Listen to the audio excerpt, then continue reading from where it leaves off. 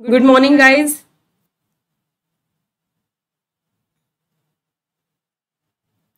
आवाज़ आ रही है आप लोगों को मेरी? मैं भी देख लेती हूँ एक बार।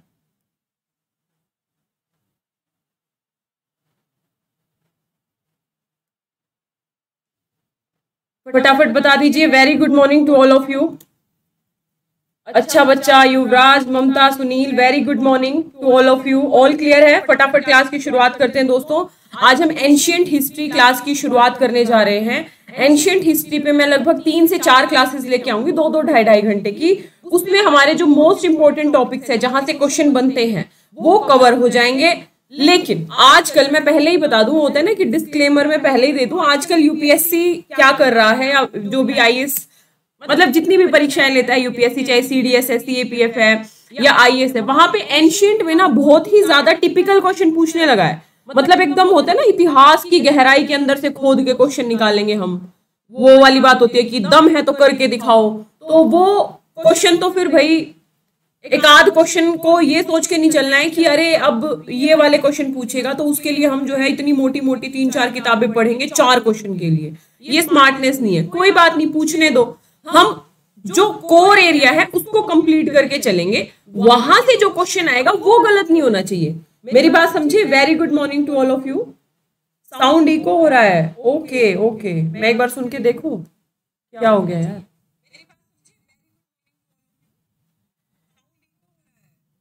यार मेरे पास सेटिंग भी नहीं है। अब मैं किससे ठीक करवाऊं?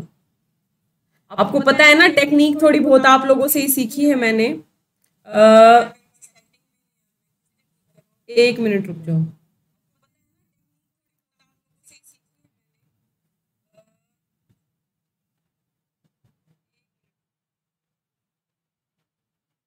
एक मिनट गाइस कहाँ से करते हैं?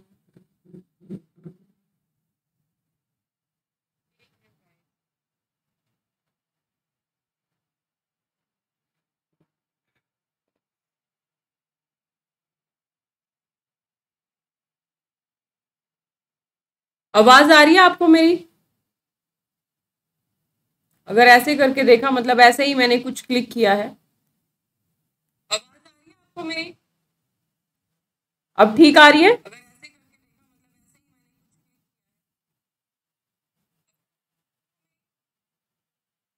ठीक आ रही है? ये ना एक हरियाणा हरियाणा में ना कहावत चलती है। अगर कोई हरियाणा का बच्चा मुझे सुन रहा होगा अन देगा तीर बिटोड़े में। मतलब ये आपको नहीं समझ में आएगा यूपी बिहार वालों को। आपको समझ में नहीं आएगा। मतलब ये होता है तुक्का। मुझे कुछ नहीं आता टेक्निक में। आपको भी पता है मुझे सिर्फ़ पढ़ाना आता है। टेक्निकल मामले में मैं बहुत ही ज़्यादा बुरी हूँ बहुत ही ज़्यादा।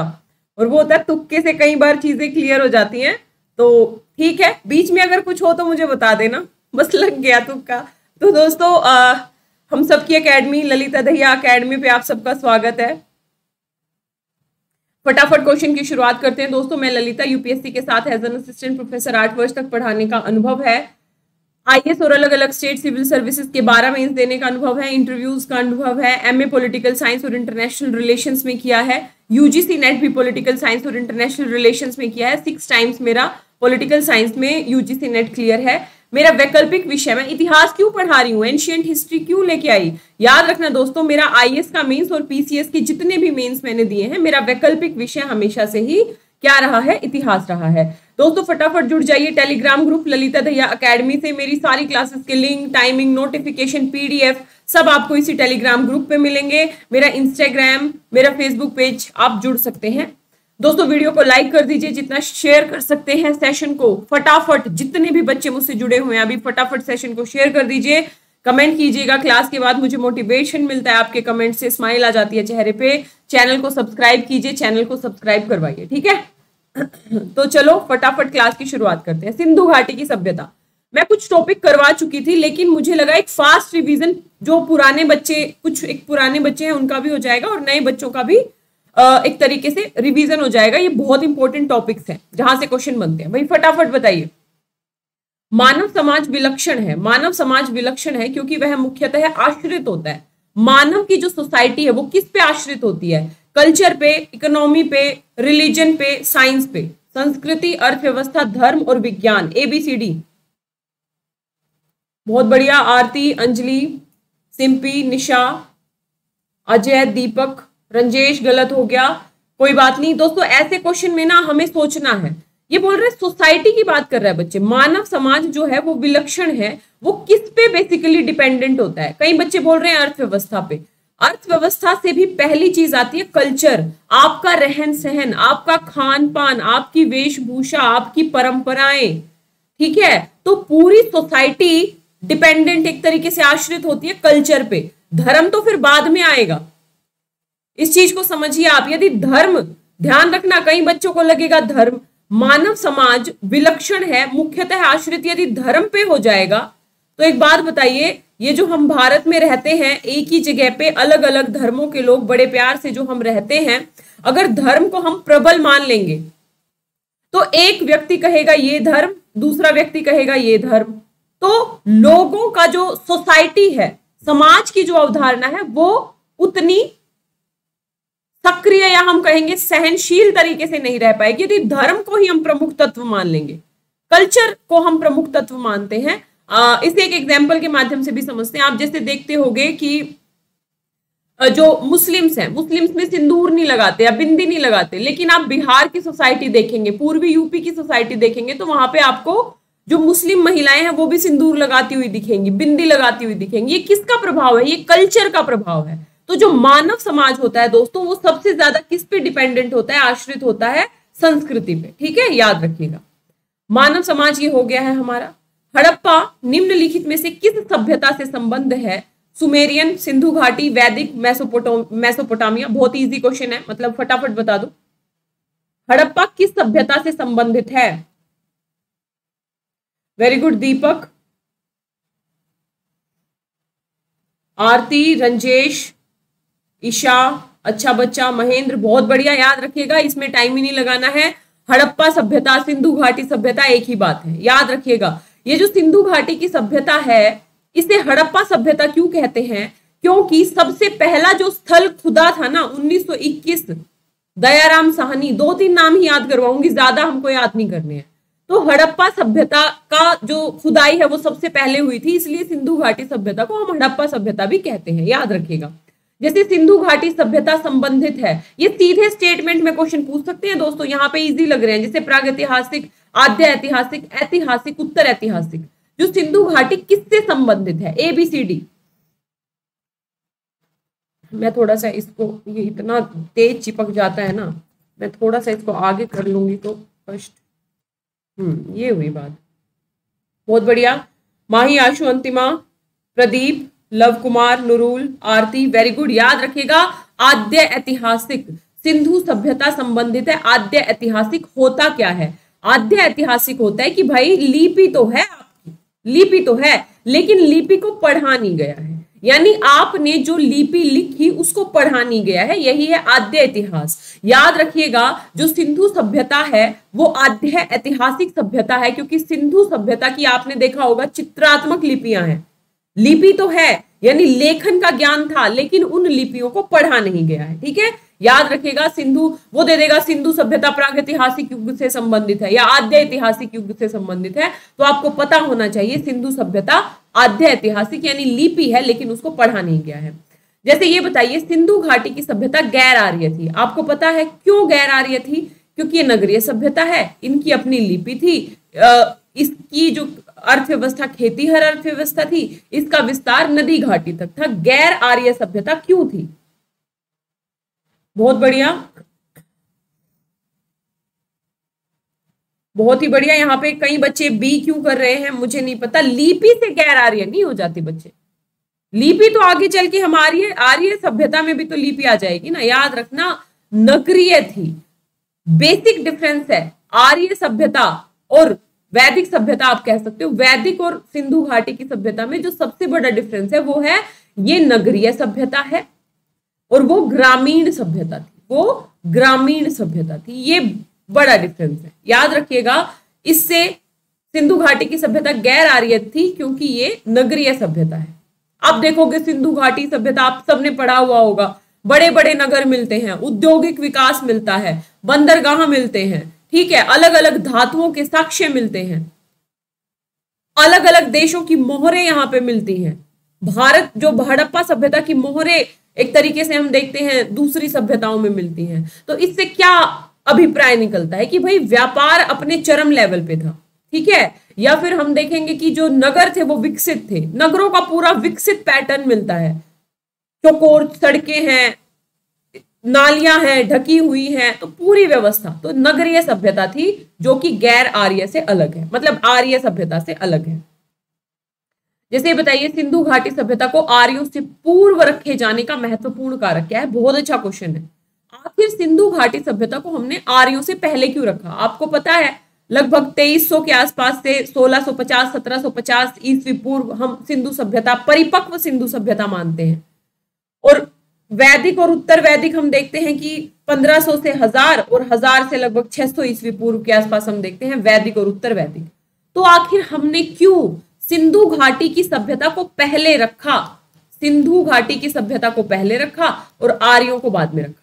लिपि, नगर नियोजन, तांबा मृद भांड यहाँ पे कई बच्चे गलत कर रहे हैं, कई बच्चे बोल रहे हैं नगर नियोजन। अभी मैं पूछती हूँ आप लोगों से। Very good Manish. कोई और? हेतल, बहुत बढ़िया।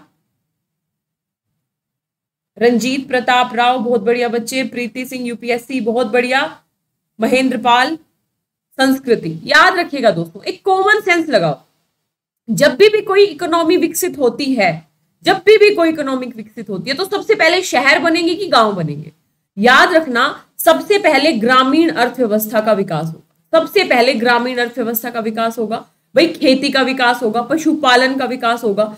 जब खेती अधिशेष होने लग जाएगा कि भाई खेती आदमी क्या कर रहा है? अधिशेष। आदमी क्या कर रहा है कि भाई खेती से उसका खुद का गुजारा भी हो गया और उसने क्या किया? फ़सलों को बेच भी दिया। अब ये जो फ़सलों को बेच रहा है, इससे लोग दूसरे व्यवसायों को सोच पाएँगे। मान लो, मैं अगर अभी आप लोगों को पढ़ा रही हूँ और मेरे को खेती करनी होती कि भाई अब क्लास के बाद गेहूँ भी काटने हैं और जो है उसको पिसवाना भी है, फिर रोटी भी बनानी है और वो खानी भी है। तो मैं क्या पढ़ा पाती? यानी जब फ़सल अधिशेष होता है, तब इंसान सोचता है दूसरे उद्योगों के बारे में या दूसरे सब्जेक्ट्स के बारे में। याद रखना, यदि इकोनॉमी के आधार पे हम रखेंगे ना तो फिर ये ये क्या नाम है इनका? आर्य सभ्यता पहले आएगी। क्यों? क्योंकि आर्य सभ्यता ग्रामीण है। सिंधु सभ्यता शहरी है। यदि हम नगर नियोजन के आधार पर रखेंगे तो याद रखना, पहले आर्य सभ्यता आ सक, आएगी, उसके बाद सिंधु। क्यों? क्योंकि पहले ग्राम विकसित होते हैं और बाद में शहर विकसित होते हैं। याद रखना दोस्तों मृद भांडों के आधार पे हमने ये वर्गीकरण किया है कि सिंधु सभ्यता को पहले रखा है और आर्य सभ्यता बाद की है। अब यहाँ पे मृद भांडों का क्या मतलब है? तो जब आप प्राचीन भारत पढ़ते हो तो मृद भांडों के आधार पे कालानुक्रम डिसाइडेड किया गया है दोस्तों। जैसे लाल और काले मृद भांड सिंधु सभ्यता से रिलेटेड है। तो जहाँ पे भी लाल और काले मृद भांड आ गए इसका मतलब भाई ये जो है चित्रित धूसर मृद भांड जो कि वैदिक सभ्यता की विशेषता है यानी ये काले और लाल मृद भांड पहले के हैं। मेरी बात समझे एक बार? आ, आ, एक बार थम्सअप दे दो। अगर अर्थव्यवस्था के आधार पर हम किसी भी सोसाइटी को रखेंगे तो पहले ग्रामीण सभ्यता आएगी, फिर शहरी आएगी। अंडरस्टूड सी बात। लेकिन मृद भांडों के आधार पर वर्गीकरण किया है कि भाई जो लाल और काले मृद भांड पहले आएँगे, चित्रित धूसर मृद भांड बाद में आएँगे। ठीक है? बहुत बढ़िया। आंसर हो जाएगा मृद भांड। नगर नियोजन मत कर देना भूल के भी। और यहाँ कॉमन सेंस लगानी है। कोई भी सोसाइटी उठा के देख लो। एक क्रम चलता है सोसाइटी का। प्राथमिक क्षेत्र द्वितीय क्षेत्र। जब दूसरा क्षेत्र डेवलप हो जाता है तो फिर तृतीय क्षेत्र की तरफ़ आते हैं। ठीक है? ध्यान रखना। ये बताइए, सिंधु घाटी की सभ्यता वैदिक सभ्यता से भिन्न है? क्यों भिन्न है जी? इसके पास विकसित शहरी सुविधाएँ हैं, इसलिए। इसके पास चित्र लेखीय लिपि है, इसलिए। इसके पास लोहे और रक्षा शास्त्रों का कि ज्ञान का अभाव था ऊपर युक्त सभी एबीसीडी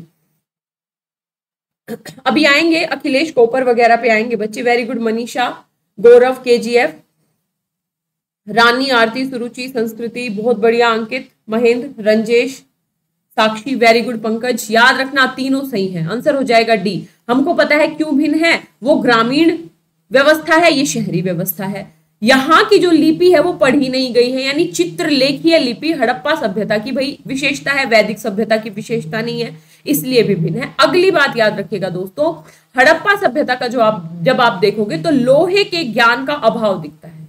लोहे के ज्ञान का अभाव दिखता है यहाँ पे। यहाँ पे हमें बहुत सारी धातुएँ दिखेंगी। याद रख लेना धातुओं को, क्वेश्चन बनता है सीधा। तांबा दिखेगा, कांसा दिखेगा, चांदी दिखेगा सोना दिखेगा, सब कुछ दिखेगा। लोहे का अभाव हमको वैदिक सभ्यता क्या नाम है इसका, सिंधु सभ्यता में मिलेगा। वैदिक सभ्यता में हमें लोहे के प्रमाण मिलते हैं। अंतरजी खेड़ा, ठीक है, लोहे के प्रमाण मिलते हैं। ध्यान रखिएगा कहाँ पे? वैदिक सभ्यता में। लेकिन सिंधु सभ्यता में लोहे का अभाव मिलता है। बाकी चार धातुएँ आपको याद रखनी है, तांबा, कांसा। कांसा और तांबा तो याद ही रहेगा, क्योंकि कांस्य युगीन सभ्यता भी कहते हैं सिंधु सभ्यता को। और तांबा इसलिए याद रहेगा क्योंकि कांसा बनता ही तांबे से है। ठीक है? चांदी आपको याद रखना है और सोना आपको याद रखना है। ठीक है? आंसर हो जाएगा इसका डी। लोहा नहीं मिलेगा, बिल्कुल सही बात है। ये बताइए, हड़प्पा संस्कृति की जानकारी का प्रमुख स्रोत क्या है? शिलालेख है। पक्की मिट्टी की मोहरों पर अंकित लेख है। पुरातात्विक खुदाई है। उपरयुक्त सभी। बताओ फटाफट। हड़प्पा संस्कृति की जानकारी का प्रमुख वेरी गुड महेंद्र बिट्टू प्रदीप रंजेश गलत हो गया। वेरी गुड ममता साक्षी शालिनी अजय प्रीति अवनी यहाँ पे कई बच्चे डी कर रहे हैं। देखो कई बच्चे डी कर रहे हैं। जैसे प्रीति है ईशा नहीं, बच्चे डी क्यों नहीं होगा? देखो, अभी मैंने आप लोगों को बताया। हर चीज़ को ना कोरिलेट किया कीजिए। जैसे अभी बताया कि लिपि तो है, लेकिन ये लिपि पढ़ी नहीं गई है। जब पढ़ी नहीं गई है तो मान लो अगर शिलालेखों पे भी अगर कुछ लिखा हुआ होगा, और हम, हमें पता ही नहीं है कि ये क्या लिखा है तो क्या हमें हड़प्पा सभ्यता की जानकारी हो पाएगी इससे? या पक्की मिट्टों की, जो मिट्टी की मोहरे हैं उनपे जो अंकित लेख हैं, जब तक हम उन लेखों को पढ़ ही नहीं पाएँगे, तब तक क्या हम ये जान पाएँगे कि भाई क्या लिखा है इसमें? और क्या क्या व्यवस्था थी? तो याद रखना, शिलालेख, अंकित लेख, इस तरीके की जो जो भी प्रणालियाँ हैं, उनका हड़प्पा सभ्यता की जानकारी से कोई संबंध नहीं है, क्योंकि लिपि तो है, लेकिन लिपि पढ़ी नहीं गई है। समझ में आया? जो जो बच्चे डी कर रहे थे, याद रखिएगा दोस्तों, सबसे बड़ा जानकारी का स्रोत है पुरातात्विक खुदाई।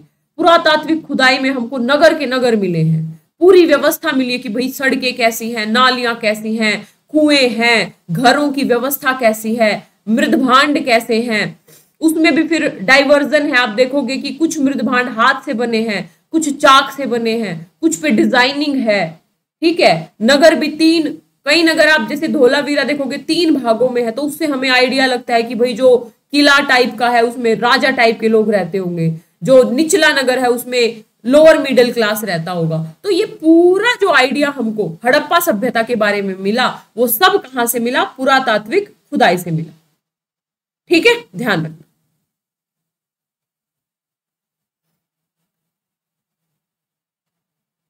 ठीक है भाई, बहुत बढ़िया। नेक्स्ट क्वेश्चन ये बताइए, निम्नलिखित में से कौन सा सिंधु घाटी सभ्यता पर प्रकाश डालता है? मतलब सिंधु सभ्यता की जानकारी कहाँ से मिलती है? शिलालेख, पुरातत्व संबंधी खुदाई, बर्तन की मोहरे, धार्मिक ग्रंथ। कभी इस तरीके का क्वेश्चन आ जाए ना तो सीधा स्टेटमेंट में बिल्कुल पूछ सकता है। आईएएस पीसीएस हर जगह। कि भाई, सिंधु घाटी की सभ्यता पे धार्मिक ग्रंथ प्रकाश डालते हैं तो तुरंत दिमाग में आना चाहिए, कौन से धार्मिक ग्रंथ? लिपि तो पढ़ी नहीं गई। वेरी गुड आंसर बिल्कुल हंड्रेड परसेंट हो जाएगा बी बहुत बढ़िया। नेक्स्ट ये बताइए ये करने की कोई ज़रूरत नहीं है। एक बात सुन लो ध्यान से। हमको केवल दो का नाम याद रखना है। एक है दयाराम साहनी एक है राखल दास बनर्जी रा, राखाल दास बनर्जी। इतने सारे नगर मिले हैं हड़प्पा में। अगर ये याद करोगे किसने कौन सा नगर खोजा है? और यदि विद्वान बनना है तो आप बिल्कुल फ्री हो याद करने के लिए। मैं रोकूँगी नहीं।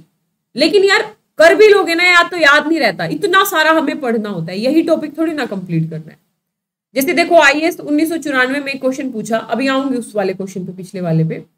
भारत में चांदी की उपलब्धता के प्राचीनतम साक्ष्य कहाँ से मिले हैं? हड़प्पा संस्कृति, पश्चिमी सभ्यता की सॉरी पश्चिमी भारत की ताम्रपाषाण वैदिक संहिता, चांदी के आहत सिक्के एबीसीडी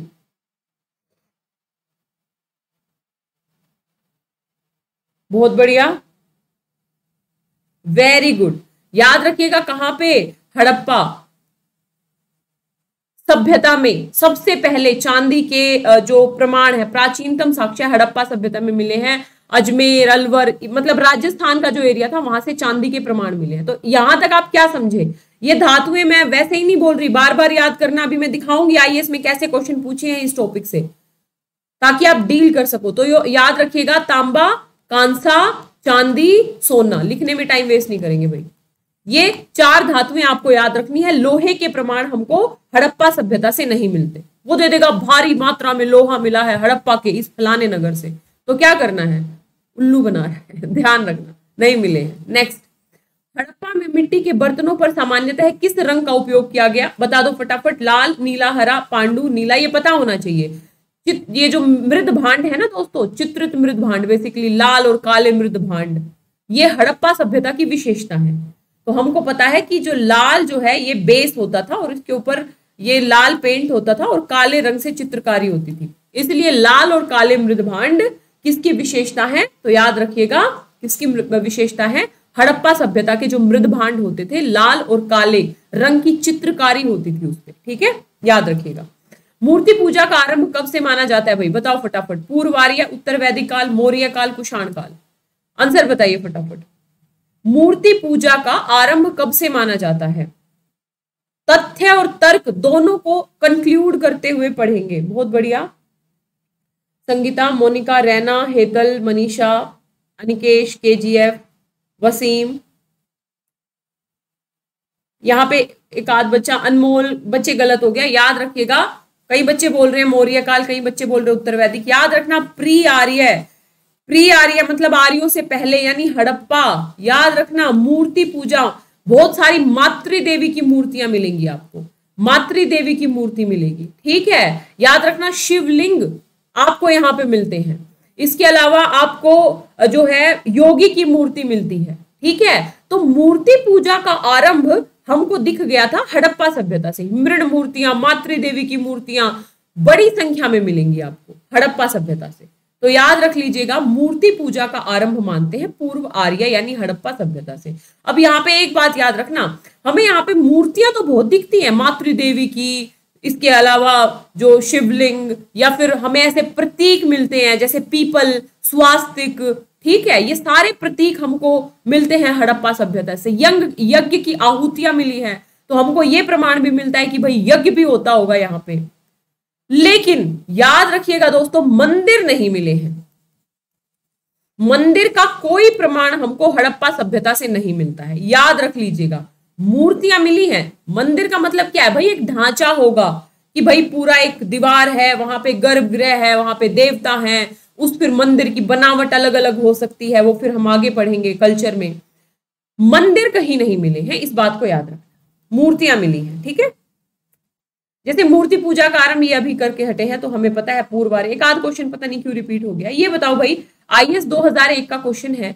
निम्नलिखित पशुओं में से किस एक का हड़प्पा संस्कृति में पाई मोहरों और टेरा कोटा की जो कलाकृतियाँ मिली हैं, जो मोहरे मिली हैं, या जो भी कलाकृतियाँ मिली हैं, मिट्टी की लकड़ी की, उनके ऊपर निरूपण नहीं हुआ है।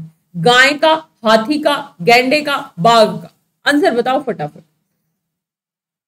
केपी, ललित, प्रतिभा, निशा, संस्कृति, विनीत, अभिनव, चुलबुली, आरबी। आरबी गलत हो गया बच्चे, कोई बात नहीं। याद रखिएगा दोस्तों, गाय का अंकन नहीं मिला है। यहाँ पे दो चीज़ें याद रखनी है आपको अगर आपसे ये पूछे कि भाई हड़प्पा सभ्यता में गाय थी ही नहीं तो गलत हो जाएगा। यहाँ पे विद्वानों में मतभेद है, क्योंकि हमें कई सारे स्थानों से गायों के अवशेष मिले हैं, लेकिन गाय को जो प्रमुखता दी गई, यानी जो गाय को पवित्र माना गया, वो माना गया वैदिक काल। और गाय को जो प्रमुखता दी गई, भाई, गाय ही सब कुछ है। ये वाली जो अवधारणा, पनपी, ये वैदिक काल में पनपी, लेकिन इसका मतलब ये नहीं है कि हड़प्पा में गाय नहीं थी। गाय थी, इसके बकायदा प्रमाण भी आपको मिलते हैं, लोथल से प्रमाण मिलता है, सुरकोटदा से प्रमाण मिलता है, गाय के अवशेष मिले हैं। याद रखिएगा, अवशेष मिले हैं, लेकिन प्रमुख नहीं थी गाय। और जो मोहरे हैं, मोहरों पे गाय का अंकन नहीं मिलेगा। यानी हाथी, बाघ, गैंडा, बकरी, भेड़, इन सब के अंकन मिलेंगे आप। ठीक है? याद रखिएगा। ये ध्यान रखिएगा, बिल्कुल नहीं भूलना है। अगर ये कह दे कि भाई गाय बिल्कुल ही नहीं मिली है तो गलत हो जाएगा, क्योंकि हमको कई जगह से गाय के प्रमाण मिले हैं। मैंने एग्ज़ाम्पल भी बताया आपको। लेकिन मोहरों पे गाय थी क्या? तो मोहरों पे गाय नहीं थी, क्योंकि गाय को बहुत प्रमुखता नहीं दी जाती थी हड़प्पा काल में। थम्सअप दे दो भाई। ठीक है? बहुत बढ़िया। ये बताओ भाई, यहाँ से अब पाँच सात क्वेश्चन करेंगे, बिल्कुल टिप्स पे चीज़ें हो जाएँगी। लोथल से क्या मिला है? कालीबंगा से क्या मिला है? धोलावीरा से क्या मिला है? बनावली से क्या मिला है? ऑप्शंस आपके सामने, फटाफट बता दो। ए का हो जाएगा, ठीक है जी। बी का हो जाएगा, ठीक है जी। सी का हो जाएगा, ठीक है जी। और डी का हो जाएगा हाँ डी का हो जाएगा ये। बहुत बढ़िया आंसर सिंपल सा निकल गया है। आंसर बता दो, क्या होगा? Very good Mahendra, Ruchi. यहाँ पे कई बच्चे गलत कर रहे हैं, कोई बात नहीं। वो ऐसे क्वेश्चंस में होता है, फिर भी ध्यान से कीजिए। आंसर होगा very good लिजत SP Sanskriti, Chulbuli, Megha, Gaurav very good answer देखो, कुछ नहीं। हमें पता है लोथल कहाँ है? गुजरात में था। ध्यान रखना, यहाँ से मिला है गोदीवाड़ा, बंदरगाह कह सकते हो आप। गोदीवाड़ा मिला है। बंदरगाह के समकक्ष आप इसको रख सकते हो, यानी आयात निर्यात होता होगा। इसका प्रमाण मिलता है हमें। एक औद्योगिक, बेहतर औद्योगिक व्यवस्था का प्रमाण मिलता है। लोथल से हमें मिलता है गोदीवाड़ा। कालीबंगा से हमको क्या मिलता है दोस्तों? कालीबंगा से हमको मिलता है जुता हुआ खेत। याद रखना, कालीबंगा कहाँ है? राजस्थान में। तो कालीबंगा से हमको मिला है जुता हुआ खेत। बनावली पूछ लेगा। वो दे देगा, हल कहाँ से मिला है जी? तो याद रखना, हल मिला है हमको बनावली से। जो हल की प्रतिकृति है, वो हमको मिली है बनावली से। धोलावीरा से बहुत सारी चीज़ें मिली अभी हम एक एक क्वेश्चन में डील करेंगे। लेकिन पहली बात याद रखना, हड़प्पन लिपि के बड़े आकार के दस चिन्हों वाला एक शिलालेख मिला है। दस चिन्हों का एक शिलालेख मिला है हड़प्पन लिपि के। कहाँ से? धोलावीरा से। याद रहेगा, यानी लोथल से क्या मिला? गोदीवाड़ा मिला, कालीबंगा से क्या मिला? ये जुता हुआ खेत मिला।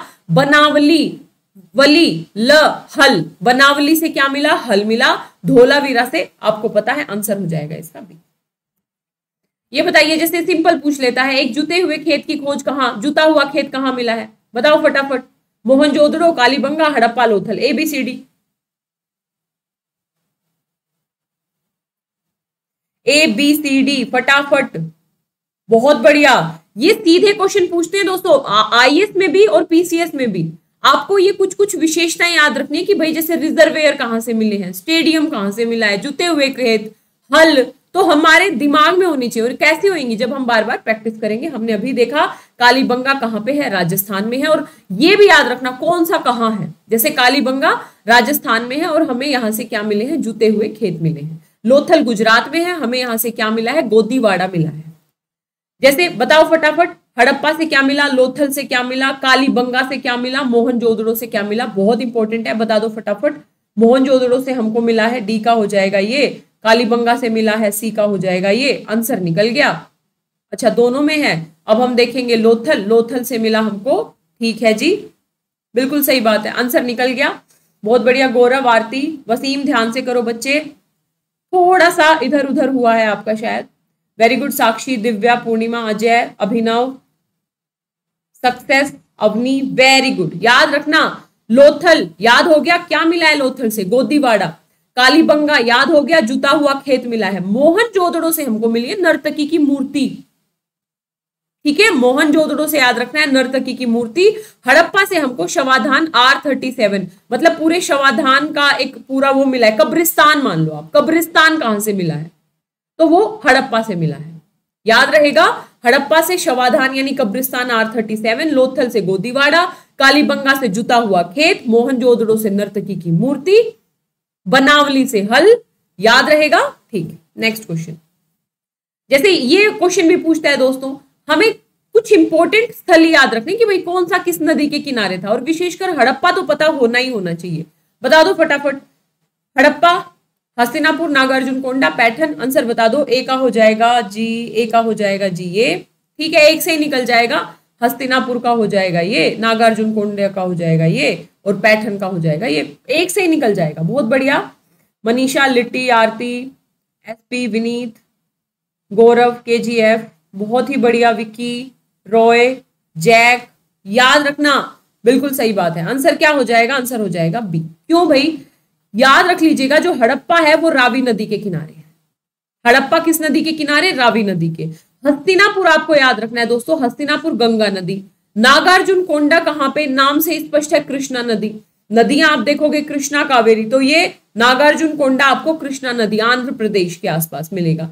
पैठन याद रख लेना, पैठन है आपका गोदावरी। कभी भी पूछ सकता है इस तरीके के क्वेश्चन। यहाँ बस आपको हड़प्पा ज़्यादा इंपॉर्टेंट है। जैसे सीधा क्वेश्चन बनता है, ये बताओ भाई, ये सारे हड़प्पा संस्कृति की बस्तियाँ कहाँ कहाँ बसी हुई थी? हड़प्पा, कालीबंगा, लोथल, रोपड़, ये चारों बहुत इंपॉर्टेंट है। बता दो फटाफट, ए का हो जाएगा ये, इसके अलावा सी का हो जाएगा, ये दोनों में दे दिया है इसके अलावा रोपड़ का हो जाएगा, डी का हो जाएगा। बिल्कुल इजी आंसर निकल गया, और कालीबंगा का हो जाएगा आपका, बहुत बढ़िया ए बी सी डी कोई बात नहीं वेरी गुड अंजलि। राज, अभिनव, पूजा, अवनी, केरल, बहुत बढ़िया। याद रखना, ए, कैसे हो जाएगा?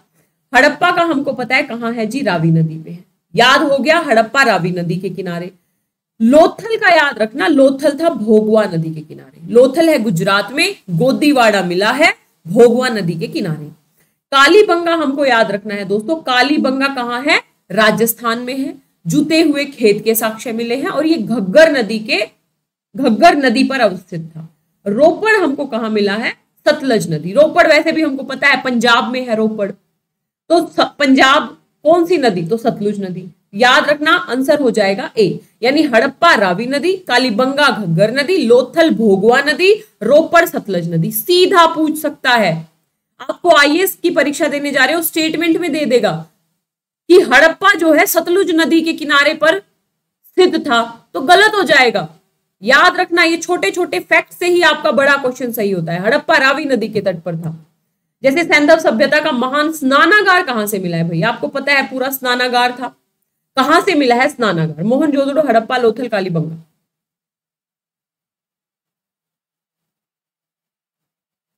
रंजेश, कैसी बात कर रहे हो? आंसर बताओ फटाफट। Very good mission Antima Suruchi Nandini Shweta अच्छा बच्चा सना स्मिता बहुत बढ़िया बच्चे मोहन जोधड़ो से। स्नानागार मिला है, कहाँ से मोहन मोहनजोदड़ो से? अब एक बार सुनो ध्यान से। स्नानागार मिला मोहन मोहनजोदड़ो से। हड़प्पा से क्या मिला? कब्रिस्तान मिला भाई, शवाधान। लोथल से क्या मिला? हमको गोदीवाड़ा मिला। कालीबंगा से क्या मिला? जुता हुआ खेत मिला। बनावली से हमको क्या मिला? हल की प्रतिकृति मिली। यही तो सात आठ चीज़ें याद रखनी है। यहाँ से बार बार क्वेश्चन बनते हैं। ठीक है? याद रखिएगा। मोहनजोदड़ो जैसे विशाल स्नानागर किस पुरातत्व स्थल से पाया गया है? आप लोगों को नहीं बताना है अब। तो महान स्नानागार यदि आपसे कभी भी पूछे तो मोहन जोदड़ो से मिला है विशाल स्नानागार। हड़प्पा मत कराना भूल के भी। ठीक है? याद रखिएगा। ये बताइए, निम्नलिखित में से कौन सा कथन असत्य है? मतलब कौन सा कथन गलत है? नगरों में नालियों की सुदृढ़ व्यवस्था थी, व्यापार और वाणिज्य उन्नत दशा में था। मातृदेवी की उपासना की जाती थी, लोग लोहे से परिचित थे। सिंपल सा क्वेश्चन क्या गलत है भाई?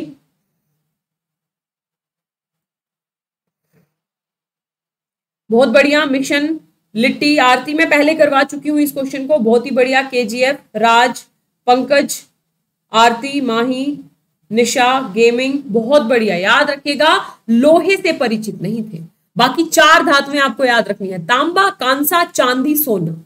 ये सारी धातुएँ हमको हड़प्पा सभ्यता में मिलेंगी। लोहे से परिचित नहीं थे। याद रख लीजिएगा। बाकी नालियों की आपको सुदृढ़ व्यवस्था मिलेगी।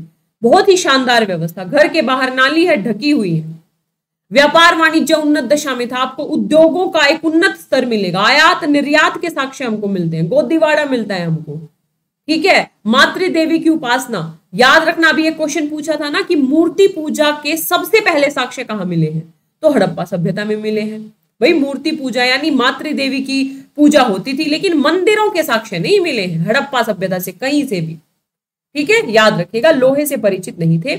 जैसे एक क्वेश्चन आप यदि कोई भी बच्चा यूपी पीसीएस देने जा रहा है, जो बच्चा पीसीएस देने जा रहा है, वो इस क्वेश्चन को ज़रूर करके जाए भाई। ध्यान रखना, ये पूछता है। अभी मुझे ये बताओ, कौन सा गलत है? मतलब कौन सा सही सुमेलित नहीं है? गलत पूछा है। आलमगीरपुर, उत्तर प्रदेश, लोथल, गुजरात, कालीबंगा, हरियाणा, रोपड़, पंजाब। इसमें से गलत क्या है? वेरी गुड रंजेश, वसीम, हंस, अंजलि, अंशुमन, राज, अवनी, बहुत बढ़िया। क्या गलत है? सुजीत, प्रदीप, प्रीति, बहुत बढ़िया। कालीबंगा कहाँ है? इतनी देर से बता रही हूँ। कालीबंगा राजस्थान में है। और कालीबंगा से जुते हुए खेत मिले हैं। और कालीबंगा किस नदी के किनारे है? अभी बताया था, घग्गर। बार बार याद करोगे तभी याद होगा। ठीक है? बाकी आलमगीरपुर याद रखना यूपी पीसीएस वालों, सीधा पूछेगा। आलमगीरपुर कहाँ है? तो उत्तर प्रदेश में। लोथल कहाँ है? तो गुजरात में। रोपड़ कहाँ है? तो पंजाब में। कालीबंगा कहाँ है? राजस्थान में। हरियाणा मत कराना। ठीक है? याद रखिएगा। जैसे ये यूपीपीसीएस का ही है, निम्नलिखित में से सिंधु सभ्यता के कौन से नगर उत्तर प्रदेश में स्थित है भाई? बताओ। कालीबंगा लोथल, आलमगीरपुर, हुलास। आंसर बताओ फटाफट कौन कौन से यूपी में उत्तर प्रदेश में स्थित है? आंसर बताइए फटाफट एबीसीडी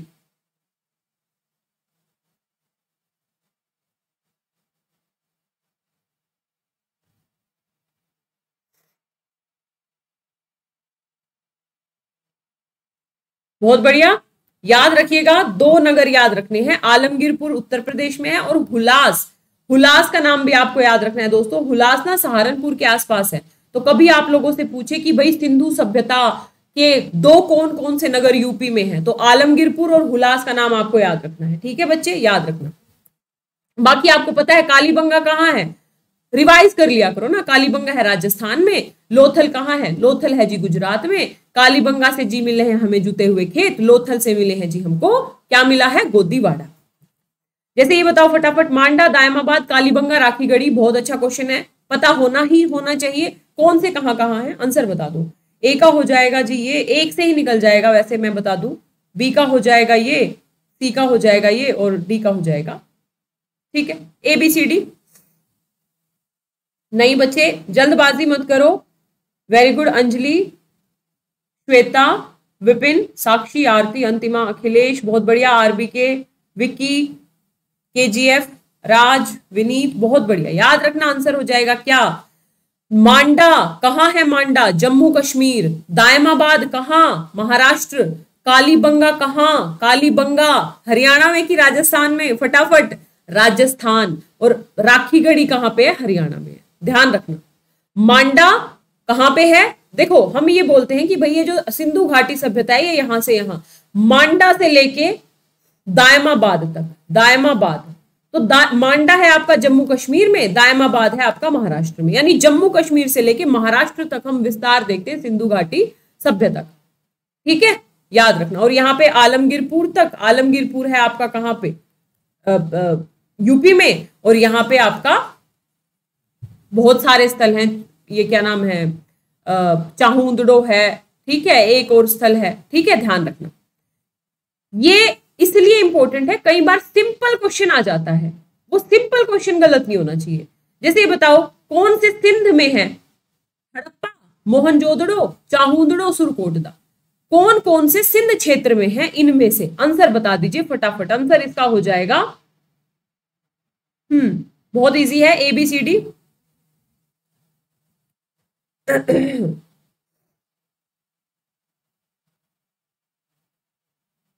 क्या हो गया? अपने आप वार्ता बाद में कर लेना। पहले मैं वेट कर रही हूँ आपके आंसर का। बहुत बढ़िया।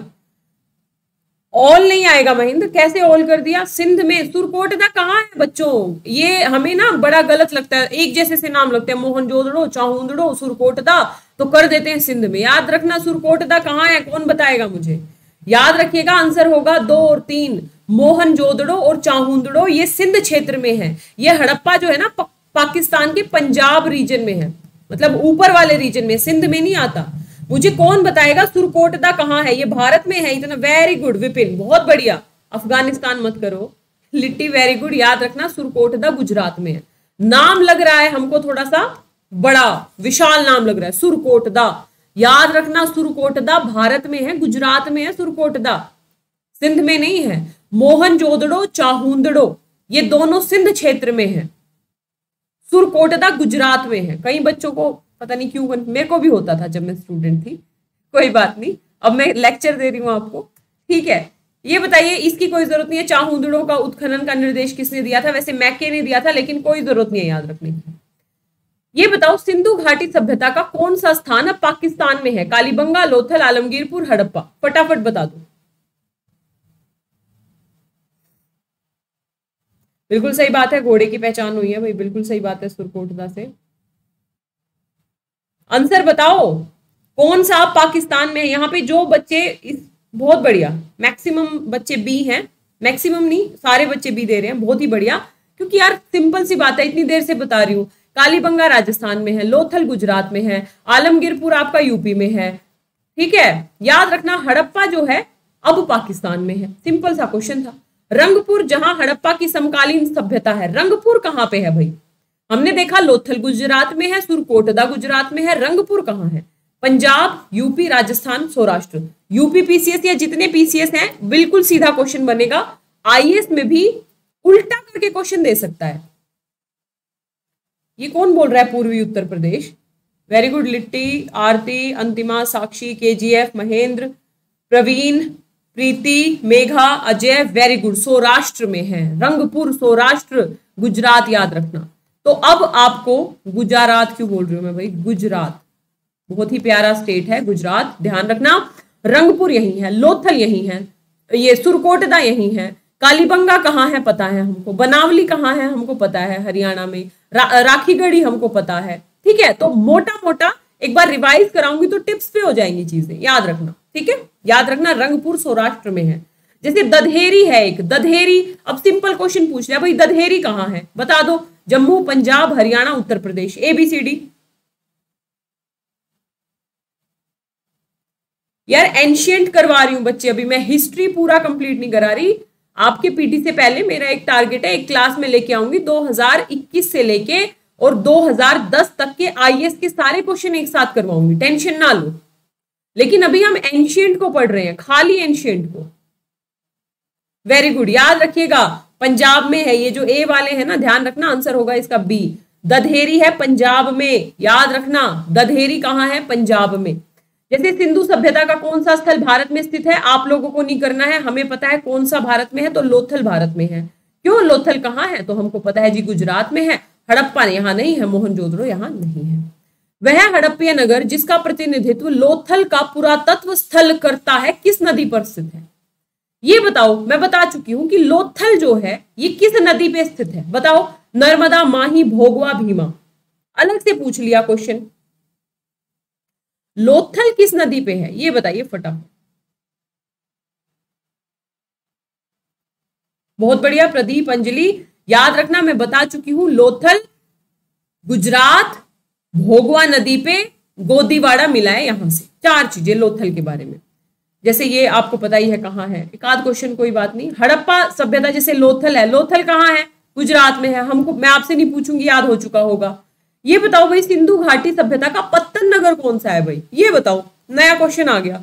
हड़प्पा, कालीबंगा, लोथल, मोहनजोदड़ो एबीसीडी पत्तन नगर कौन सा है सिंधु घाटी सभ्यता का? ऑप्शंस आपके सामने हैं।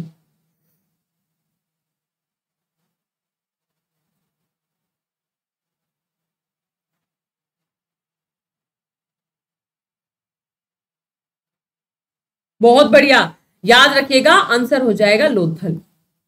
पत्तन नगर मतलब गोदीवाड़ा मतलब बंदरगाह, कहा मिला है? लोथल, भोगवा, गुजरात, ठीक है? याद रखना। जैसे हल का टेराकोटा कहाँ से मिला है भाई? घुमा फिरा के वही क्वेश्चन आते हैं। एक बार अगर सिंधु घाटी सभ्यता कर लिया, उसके बाद सिंधु घाटी सभ्यता से जितने भी क्वेश्चन बनेंगे, आप कर लोगे। बताओ फटाफट, हल कहाँ से मिला है? धोलावीरा, बनावली कालीबंगा लोथल एबीसीडी किसी को कोई डाउट है? रिचा, आंसर दो बच्चे, आंसर आंसर, बहुत बढ़िया। याद रखिएगा, बनावली। मैंने अभी एक, अरे, टिक यहाँ कर रही हूँ, वो यहाँ है। बनावली, ल यानी याद रखना, बनावली से क्या मिला है? हल मिला है, ठीक है? जैसे कौन सी सिंधु घाटी सभ्यता से संबंधित स्थल नहीं है? कौन सा सिंधु घाटी से संबंधित नहीं है? कालीबंगा, रोपड़, लोथल, पाटलिपुत्र, कौन सा संबंधित नहीं है? तो इजी सा क्वेश्चन है, इसमें हमको सोचना ही नहीं है। पाटलिपुत्र सिंधु घाटी सभ्यता से नहीं है। ये पाटलिपुत्र का जो उद्भव है या ये जो नाम में कब आएगा? महाजनपद काल में। कालीबंगा, राजस्थान, रोपड़, पंजाब, लोथल, गुजरात, ये सारे सिंधु घाटी सभ्यता के नगर हैं, पाटलिपुत्र नहीं है। जैसे ये बहुत अच्छा क्वेश्चन है, ये बताइए, हड़प्पा का वृद्ध स्थल कौन सा है? भाई, हड़प्पा में बहुत सारे स्थल खोजे गए ना, आपको पता है। हड़प्पा मोहनजोदड़ो चाहूदड़ो सुरकोट लोथल राखी गढ़ी धोला वीरा काली बंगा लोथल, बता दो। सबसे बड़ा स्थल कौन सा है? हड़प्पा सभ्यता का। ABCD very good Litti, Shweta, Megha, Vineet, Mahendra, Mishra. बहुत बढ़िया आरती जैक याद रखना, राखी गढ़ी। सबसे बड़ा स्थल है किसका? हड़प्पा सभ्यता का सबसे बड़ा स्थल है राखी गढ़ी। ध्यान रखिएगा, ठीक है? पहले हुआ करता था धोलावीरा, बाद में रिसर्च हुई तो ये अभी हाल फ़िलहाल सोलह सत्रह के आसपास सबसे बड़ा स्थल है। वर्तमान में कौन सा है? तो राखी गढ़ी याद रखना राखी गढ़ी जैसे सबसे बड़ा हड़प्पनपुरा स्थल है तो ध्यान रखिएगा राखी गढ़ी वो आपको स्टेटमेंट में दे देगा, पता है क्या? कि हड़प्पा सभ्यता भाई, प्राचीन एक आध्य इतिहास से संबंधित है, बोल देगा। और इसका सबसे बड़ा स्थल हड़प्पा है तो गलत हो जाएगा। मेरी बात समझे आप? क्वेश्चन को, फैक्ट को हमें कैसे यूज़ करना है? छोटे छोटे फैक्ट्स, भाई, किस नदी पे किनारे कौन सा है? कहाँ पे क्या क्या मिला है? कौन सा किस राज्य में है? है ना? तो याद रखिएगा, और सबसे बड़ा कौन सा है तो राखीगढ़ी याद रखना। ठीक है? डी फोर डोल। बिल्कुल सही बात है, रवीना। याद रखना, राखीगढ़ी। ये बताइए, सिंधु घाटी सभ्यता जिन नदियों के तट पर बसी थी, वो कौन कौन सी नदियाँ थी? सिंधु, झेलम चिनाव गंगा। बता दो फटाफट। बहुत अच्छा क्वेश्चन है। सीधा इस बार स्टेटमेंट में पूछ लेगा, गंगा नदी के किनारे सिंधु सभ्यता का विस्तार देखने को मिलता है, जो कि हो जाएगा सरासर गलत, क्योंकि गंगा नदी का सिंधु घाटी सभ्यता से कोई मतलब नहीं है। मेरी बात समझे? आपकी बात समझे। ये जैक जो है ना, ये पकड़ता है मेरी बातों को। होता है किसी किसी दिन ना, कुछ चढ़ जाता है ज़ुबान पे तो फिर।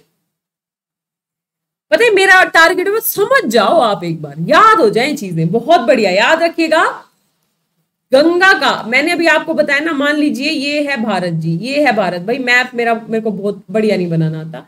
तो ये वाला एरिया ही आप देखोगे, मांडा से लेके दायमाबाद और ज़्यादा से ज़्यादा आलमगीरपुर तक।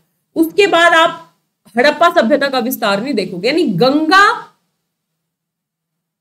हड़प्पा सभ्यता से संबंधित नहीं है। हमको पता है सिंधु तो होगी ही भाई। सिंधु घाटी सभ्यता ही कहते हैं। चिनाब होगी ही और झेलम होगी ठीक है? याद रखना आंसर हो जाएगा। जिसे सिंधु घाटी के लोग पूजा करते थे, किसकी करते थे? पशुपति की, ब्रह्मा की, इंद्र और वरुण की, विष्णु की। बहुत इजी क्वेश्चन है। किसकी पूजा करते थे? Answer very good Aarti. Wasim, Monika, क्या कर रहे हो? हो सकता है आप पिछला क्वेश्चन कर रहे हो बच्चे। अंजलि, लिट्टी, आनंद के जी एफ़ आरती, याद रखिएगा। पशुपति शिव, पशुपति की मूर्तियाँ हमको मिली हैं। ठीक है, हमें, देखो, हड़प्पा को सोचो एक बार। मातृदेवी की मूर्तियाँ मिली, यज्ञ के प्रमाण मिले हैं, स्वास्तिक मिला है, पीपल, नीम, यानी एक तरीके से प्रकृति पूजा के प्रमाण मिले हैं हमको कि भाई प्रकृति को भी पूजते थे। पीपल और नीम के पत्तों की या पेड़ की पूजा होती थी, इसके प्रमाण मिलते हैं। लिंग की पूजा होती थी, इसके प्रमाण मिलते हैं। इसके अलावा ध्यान रख लीजिएगा, पशुपति, कुबड़ वाला सांड, ठीक है, ये सब आपको मिलेंगे हड़प्पा सभ्यता से। तो पशुपति की पूजा और एक पुरोहित की मूर्ति मिली है जो कि ध्यान मग्न होके बैठा हुआ है। तिपतिया छाप है उसके शोल पे और वहाँ से हमको एक एक मिलता है कि योग का जो एक संकल्पना है वो हड़प्पा सभ्यता में रही होगी, क्योंकि जो उसकी आँखें हैं वो इस तरीके से ध्यान मग्न है जिससे हमें योग का ध्यान का साक्ष्य मिलता है। ये सात आठ चीज़ें अगर आपको याद रही तो आप जो हड़प्पा सभ्यता किस किस धर्म में विश्वास करती थी तो यहाँ से आपको पता लग जाएगा। ठीक है? याद रखिएगा पशुपति की पूजा करते थे याद रखना। ये जो है ना जैसे ब्रह्मा जी ब्रह्मा जी की अवधारणा तो बहुत बाद में आ, आएगी। इंद्र और वरुण की अवधारणा आपको वैदिक काल में दिख जाएगी विष्णु की अवधारणा भी आपको बाद में दिखेगी। ठीक है? याद रखना। ये बताइए मोहनजोदड़ो और हड़प्पा की पुरातात्विक खुदाई के प्रभारी थे, ये याद रख सकते हो क्योंकि ये दोनों इंपॉर्टेंट स्थल हैं, हड़प्पा भी और मोहनजोदड़ो भी तो इनकी पुरातात्विक खुदाई के प्रभारी कौन थे भाई? किसके आदेश पे इनकी खुदाई हुई? Macaulay, John Marshall, Clive, colonel Tod ABCD ये याद रख सकते हो पीसीएस वगैरह के लिए। कि भाई किसने आदेश दिया था कि भाई खुदाई करवाइए इनका? और फिर इनकी 1921 में हड़प्पा की खुदाई हुई 1922 में मोहनजोदड़ो। बहुत बढ़िया, याद रखिएगा, आंसर हो जाएगा। Sir John Marshall, sir John Marshall, ठीक है? इनके कहने पे फिर जैसे ये क्वेश्चन आ जाएगा, सिंधु घाटी सभ्यता को खोज निकालने में जिन दो भारतीयों का नाम जुड़ा है, वो कौन से हैं? आंसर बता दो। राखला दास दयाराम साहनी, मार्शल ईश्वरी ऑप्शन आपके सामने है और आंसर आपको पता है। सिर्फ़ ये दो नाम याद रख लेना दोस्तों, बाकी कौन सा स्थल किसने खोजा? अगर रट भी लोगे ना तो एग्ज़ाम हॉल में नहीं याद रहेगा। इसलिए कम पढ़ो, लेकिन ठोस पढ़ो, ठीक है? बहुत बढ़िया। हो सकता है बच्चे ना बी जो आ रहा है, वो पिछले क्वेश्चन का आंसर आ रहा होगा। वेरी गुड याद रखिएगा। दयाराम साहनी का आपको नाम याद रखना है। 1921 में इन्होंने हड़प्पा, ठीक है? दयाराम साहनी हड़प्पा और राखल दास बनर्जी आपका मोहन मोहन जोदड़ो 1992 1992 1992 नहीं 1922 यार। 1921 में ये 1922 में ये। ठीक है तो हड़प्पा और मोहन जोदड़ो, हड़प्पा दयाराम साहनी, मोहन जोदड़ो, राखल दास बनर्जी, ये दोनों नाम याद रख लीजिएगा। ठीक है? जैसे ये बताइए, निम्नलिखित में से कौन सही सुमेलित नहीं है? यानी क्या गलत है भाई? बताओ फटाफट। हड़प्पा, दयाराम साहनी, इसको याद ही नहीं करना हमको। याद ही नहीं करना भाई। लोथल किसने खोजा, सुरकोटदा किसने खोजा, धोलावीरा किसने खोजा? ऐसे बहुत सारे नगर हैं, याद नहीं होंगे। बस हमको दो याद रखने दयाराम साहनी और राखल दास बनर्जी, ठीक है? ये सही है कि हड़प्पा का ना उत्खनन कर दिया था। एक पुरातत्व, पुरातत्वविद ऐसा था जिन्होंने हड़प्पा का उत्खनन कर दिया, लेकिन इसके महत्व को नहीं समझ पाया। सोचा तो पता नहीं क्या है, ये समझ ही नहीं पाया वो। कौन था वो? महाशय। Cunningham Marshall, Mortimer, Wheeler, Dales. याद रखिएगा, कोई बात नहीं, पीसीएस के लिए आप याद रख सकते हो कनिंगम थे। कनिंगम ने क्या किया था? हड़प्पा सभ्यता का पुरातत्वविद मतलब ये थे, देख लिया था, लेकिन ये समझ नहीं पाए थे कि इतनी विशाल, इतनी एक तरीके से विकसित सभ्यता भारत में हो सकती है क्या? ध्यान रखना कनिंगम ये बताओ, किस घर में कुओं के अवशेष मिले हैं? सिंधु घाटी सभ्यता की विकसित अवस्था में किस स्थल पे कुओं के अवशेष मिले हैं? हड़प्पा, कालीबंगा, लोथल मोहनजोदड़ो आंसर बताओ फटाफट ए बी सी डी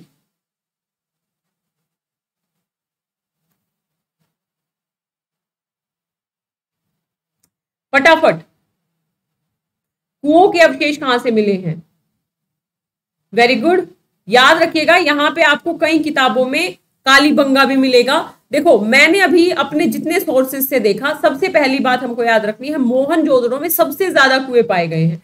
लगभग 300 के आसपास कुओं के प्रमाण मिलते हैं, लेकिन आप किसी एक बुक में कालीबंगा भी इसका आंसर दे रखा है, ठीक है? कालीबंगा भी इसका आंसर दे रखा है। मैं एक बार उस बुक को खुद से पढ़ूँगी, उसके बाद आपको इस पे कंफर्म आंसर बताऊँगी, लेकिन तब तक आप मोहन जोदड़ो ही मानेंगे।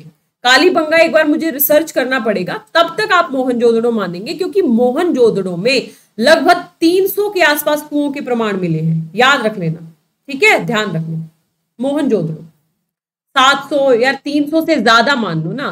अब हर एक शब्द पे क्यों जाते हो मैम? 700 है। 300 से ज़्यादा, अब गिन के 700 तो नहीं है ना। ध्यान रखना। बहुत सारे कुओं के अवशेष मिले हैं मोहन जोदड़ो से। याद रखना मोहनजोदड़ो निम्नलिखित में से कहाँ पे स्थित है भाई? फटाफट बता दो। भारत के गुजरात में, भारत के पंजाब में, पाकिस्तान के सिंध प्रांत में, अफ़गानिस्तान में। टाइम वेस्ट करने का कोई फ़ायदा मेरे को लग नहीं रहा, मैं खुद ही बता देती हूँ। आपको पता है मोहनजोदड़ो कहाँ है? तो पाकिस्तान के सिंध प्रांत में मोहनजोदड़ो चाहूदड़ो, अभी क्वेश्चन कराया था ना, सिंध में है ये दोनों। हड़प्पा कहाँ है? पाकिस्तान में है। बाकी आपको पता है, गुजरात में तीन है। गुजरात में आपने देखा आपने देखा क्या नाम है, लोथल देखा और सुरकोटदा देखा। पंजाब में आपने क्या देखा? पंजाब में आपने क्या नाम था इसका यार, जो रोपड़ देखा ठीक है? ध्यान रखो। ये बताओ भाई, कलानुक्रम बताना है इनका। सोने के सिक्के मतलब पहले क्या आया? आहत मुद्रा, लोहे का हल, नगर संस्कृति। आंसर बताइए, क्या कब आया? आंसर हो जाएगा ये ये, उसके बाद आपका हो जाएगा, ठीक है, उसके बाद आंसर। बताओ फटाफट A B C D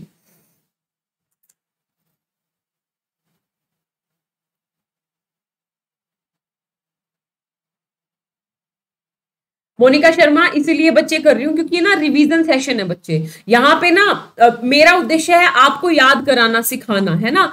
अगर हर एक बच्चे के आंसर का बच्चे वेट करने लग गई ना मैं तो फिर एक एक क्वेश्चन पे हमें कम से कम तीन तीन चार चार मिनट देना पड़ेगा। और अभी उन बच्चों की मनोदशा सोचिए जिनका एग्ज़ाम है। पाँच तारीख को, उसके बाद यूपी पीसीएस वाले हैं जिनका बारह तारीख को एग्ज़ाम है। तो हमें अभी उनके पॉइंट ऑफ़ व्यू से सोचना है। मेरा टारगेट है, आपको बस याद हो जाए चीज़ें, है ना बच्चे? इस चीज़ को समझिए आप।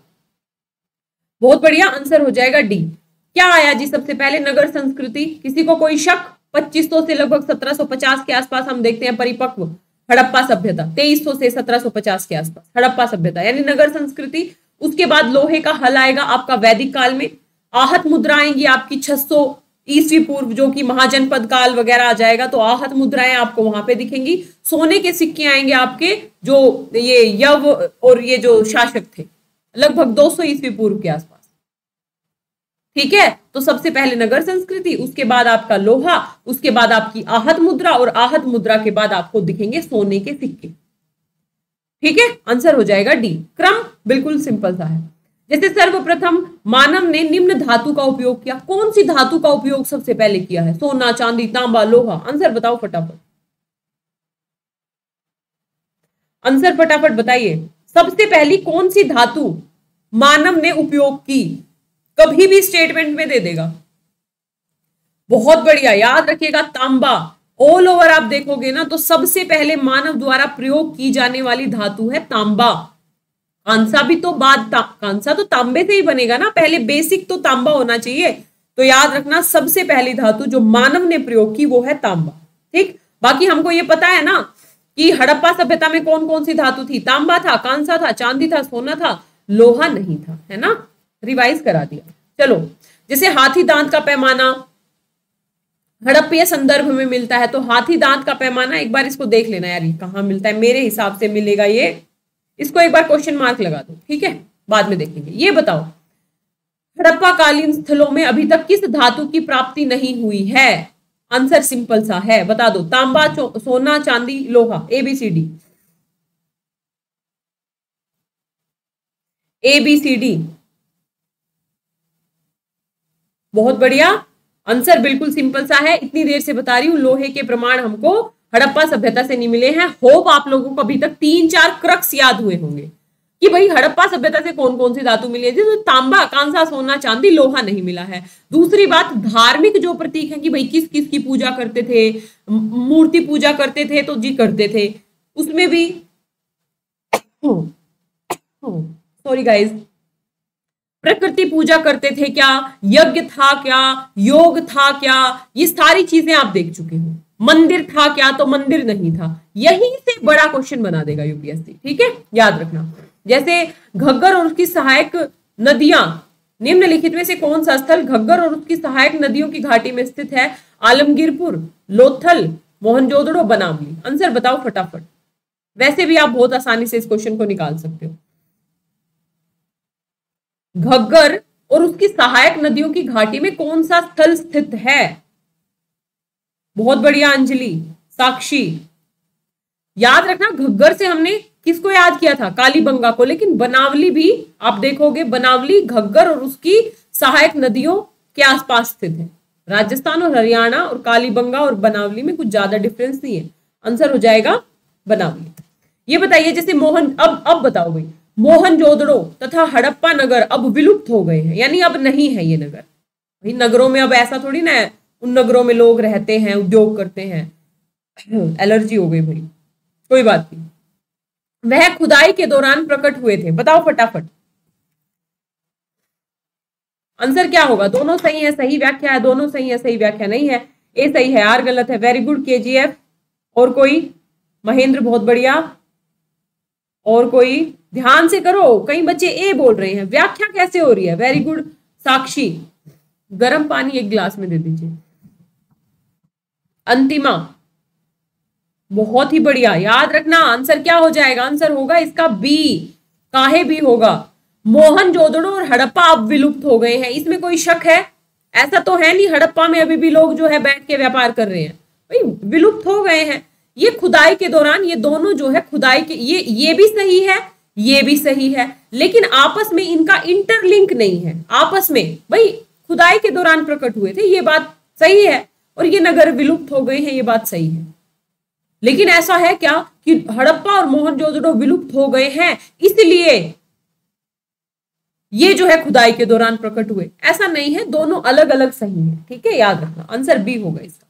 जैसे ये बताओ, हड़प्पन संस्कृति के संदर्भ में शैलकृत स्थापत्य के प्रमाण कहाँ मिले हैं? शैलकृत स्थापत्य, कालीबंगा, धोलावीरा, कोट दीजी आमरी। रिजर्वेयर आप मान सकते हैं।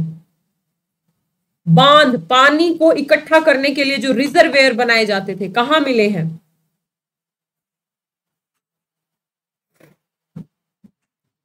इसको याद रख लेना, यहाँ से यूपीएससी में भी क्वेश्चन बनाया और हर जगह बनता है। अभी जब मैं रिवीजन कराऊँगी ना तो टिप्स पे हो जाएँगी चीज़ें, याद रखिएगा दोस्तों, धोलावीरा धोलावीरा।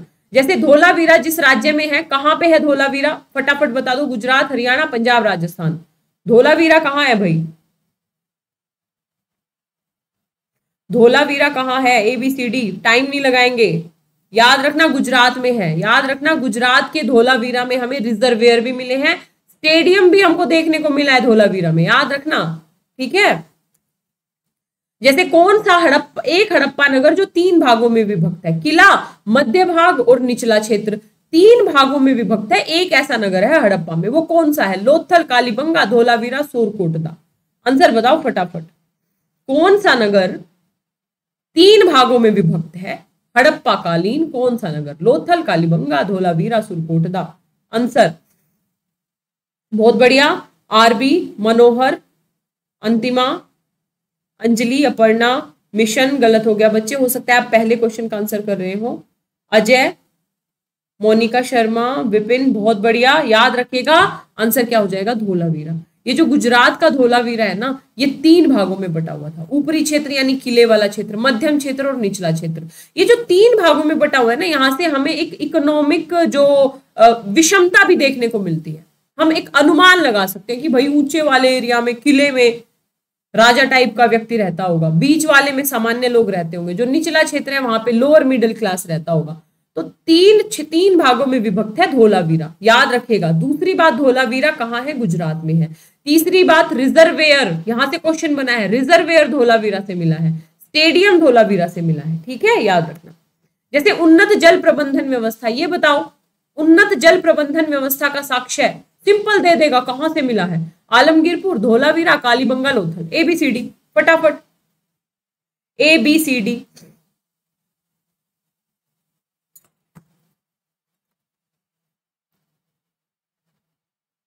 hmm. इतनी देर से क्या बता रही हूँ? रिजर्वेयर, यानी जल को इकट्ठा करने की जो संकल्पना है, हमको कहाँ से उन्नत जल प्रबंधन व्यवस्था मिली है? तो धोलावीरा से। ठीक है? याद रखिएगा जैसे द्विश द्विशव्य क्वेश्चन ही गलत है, ठीक है? ये बताओ, हड़प्पन स्थल है सनोली, ये भी हाल ही में उत्खनन बेसिकली प्राप्त हुआ था, इससे हमें पता लगता है, मैं बता देती हूँ, सनोली हाल ही में उत्खननों से प्राप्त हुआ था, मानव शवाधान के साक्ष्य मिले हैं यहाँ से, बहुत सारे शवाधान मिले हैं, ये देखा गया कि उत्तर से दक्षिण की ओर दफनाया जाता था, पहली बात दूसरी बात, जो शव गाड़े जाते थे ना, यानी जिसकी मृत्यु हो जाती थी, उसको फिर ज़मीन में उत्तर से दक्षिण की तरफ़ जब गाड़ा जाता था तो उसके, उनके साथ बहुत सारी भौतिक वस्तुएँ ही मतलब जो भी गहने हैं, पशु हैं, खाने का सामान है, ये सब मिलता था। यानी इससे क्या मिलता है कि मरने के बाद भी जीवन की अवधारणा है, इस बात में हड़प्पावासी विश्वास रखते कि भाई मरने के बाद भी इनको इन चीज़ों की ज़रूरत पड़ेगी, इस अवधारणा में विश्वास रखते थे हड़प्पा वासी। ठीक है? जैसे कपास की खेती का प्रारंभ सबसे पहले कहा किया गया? मिस्र, मेसोपोटामिया, मध्य अमेरिका, भारत। बताओ फटाफट। कपास की खेती का प्रारंभ सबसे पहले कहा किया गया?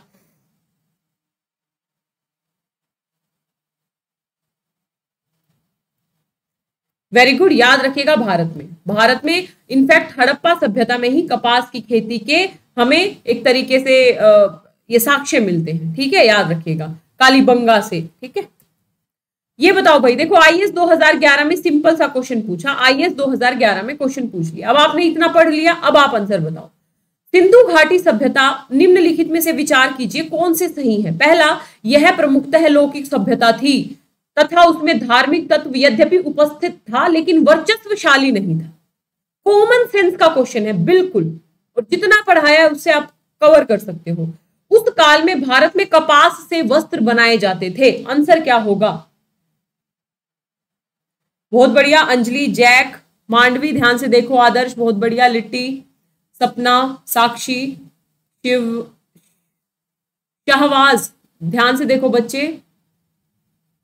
कोई बात नहीं आंसर क्या होगा? भाई आंसर हो जाएगा सी क्यों? पहला देखो, मुख्यतः लौकिक सभ्यता थी। धार्मिक तत्व हमको दिखते हैं, मैंने आपको बताया, मातृदेवी, पशुपति, कुबड़ वाला सांड, या फिर आपको हम देखते हैं, यज्ञ के प्रमाण हैं। ठीक है प्रकृति पूजा के प्रमाण है। धार्मिक तत्व तो है, लेकिन वर्चस्वशाली क्या है? वर्चस्वशाली नहीं था धर्म।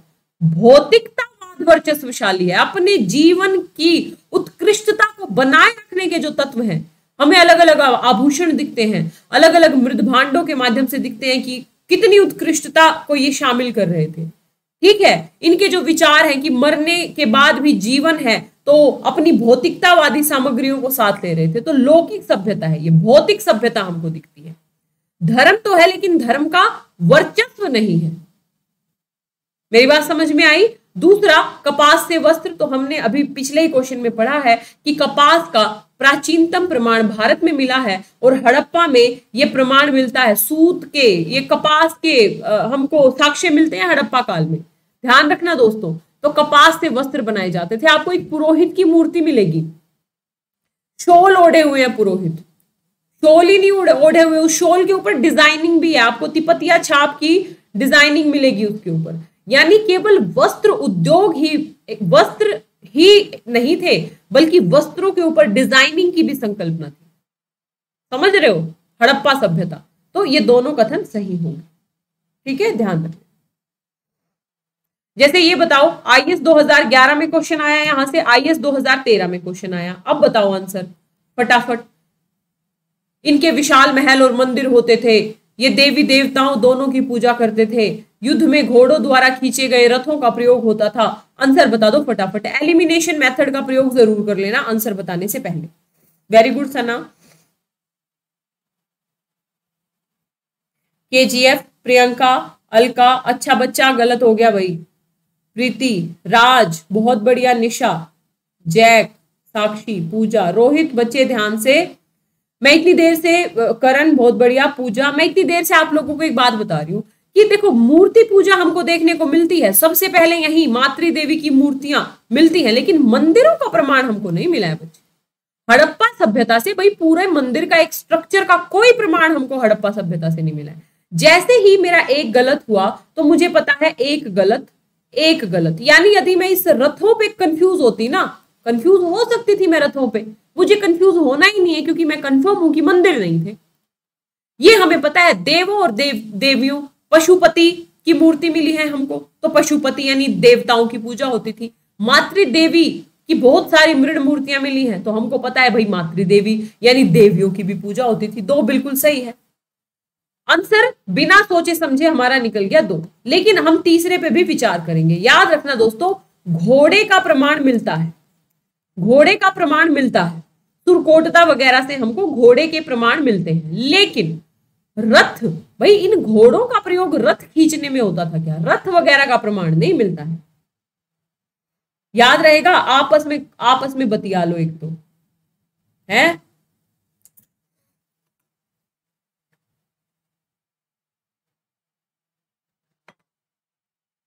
ठीक है? ध्यान रख लेना। सुन लो, कोई बैठा है आपके सामने, पढ़ा रहा है आपको, है ना? तो थोड़ा सा इधर भी सुन लो भाई। चलो, ठीक, ध्यान रखना। घोड़े के प्रमाण है, याद रखना इस बात को, लेकिन रथ का, रथ खींचने के लिए प्रयोग होता था कि भाई रथ वगैरह का प्रमाण नहीं मिलता है, मंदिर का कोई प्रमाण नहीं मिलता है, आंसर हो जाएगा केवल दो सही है।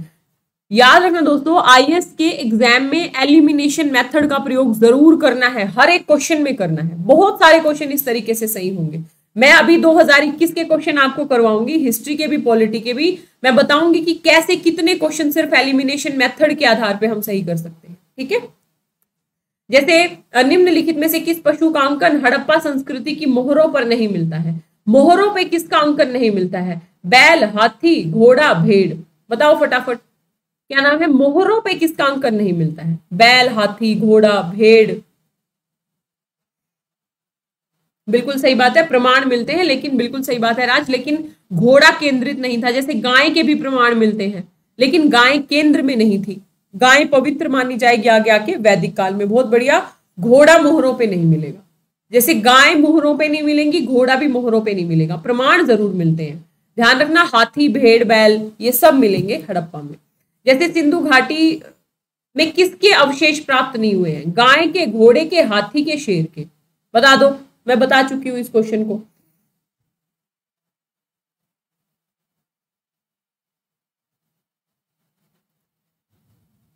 Very good Aarti, Wasim. क्या बोल रहे हो? नहीं नहीं, अपरिचित नहीं थे। याद रखना, घोड़े के प्रमाण मिले हैं। इस बात पे हालाँकि इतिहासकारों में मतभेद है, लेकिन आप सुरकोटदा वगैरह से घोड़े के प्रमाण मिले हैं बच्चे। ध्यान रखना किसके प्रमाण प्राप्त नहीं हुए तो शेर के नहीं मिलते हैं हमें। बाघ दिखेगा, बाघ के प्रमाण मिलते हैं, शेर के प्रमाण नहीं मिलते हैं। घोड़ा, मैंने आपको बताया, सुरकोटदा वगैरह से गाय के भी प्रमाण मिलते हैं, हाथी तो था ही, बाघ के मिलते हैं, शेर के प्रमाण नहीं मिलते। रिवाइज कराऊँगी इतना कंफ्यूज मत हो, एक दो क्वेश्चन और बचे हैं। जैसे मृण पट्टिका पर उत्कीर्ण सिंह युक्त देवता की कृति प्राप्त हुई है। सिंह युक्त देवता की कृति कहाँ से प्राप्त हुई है? भाई देख लेंगे इसको भी, ठीक है? इस तरीके से, जैसे नील नदी पे पनपी तो नील नदी पे कौन सी सभ्यता पनपी? तो आपको पता है कौन सी सभ्यता पनप सकती है नील नदी? अफ्रीका की नील नदी, सबको पता है, ज्योग्राफी में भी पढ़ते हो तो मिस्र की सभ्यता पनपी। जैसे लेखन कला की उचित प्रणाली विकसित करने वाली सर्वप्रथम जो प्राचीन सभ्यता थी लास्ट क्वेश्चन है ये, इसका, आज का नहीं, सिंधु सभ्यता का। बताओ फटाफट। आंसर हो जाएगा सुमेरिया। याद रखिएगा सर्वप्रथम प्राचीन सभ्यता जो लेखन कला विकसित करने वाली थी, वो थी सुमेरिया सभ्यता सुमेरिया सभ्यता, याद रखना। चलो भाई, फटाफट रिवीजन के लिए तैयार हो जाओ। जितना पढ़ा है अभी टिप्स पे हो जाएगा, बिल्कुल।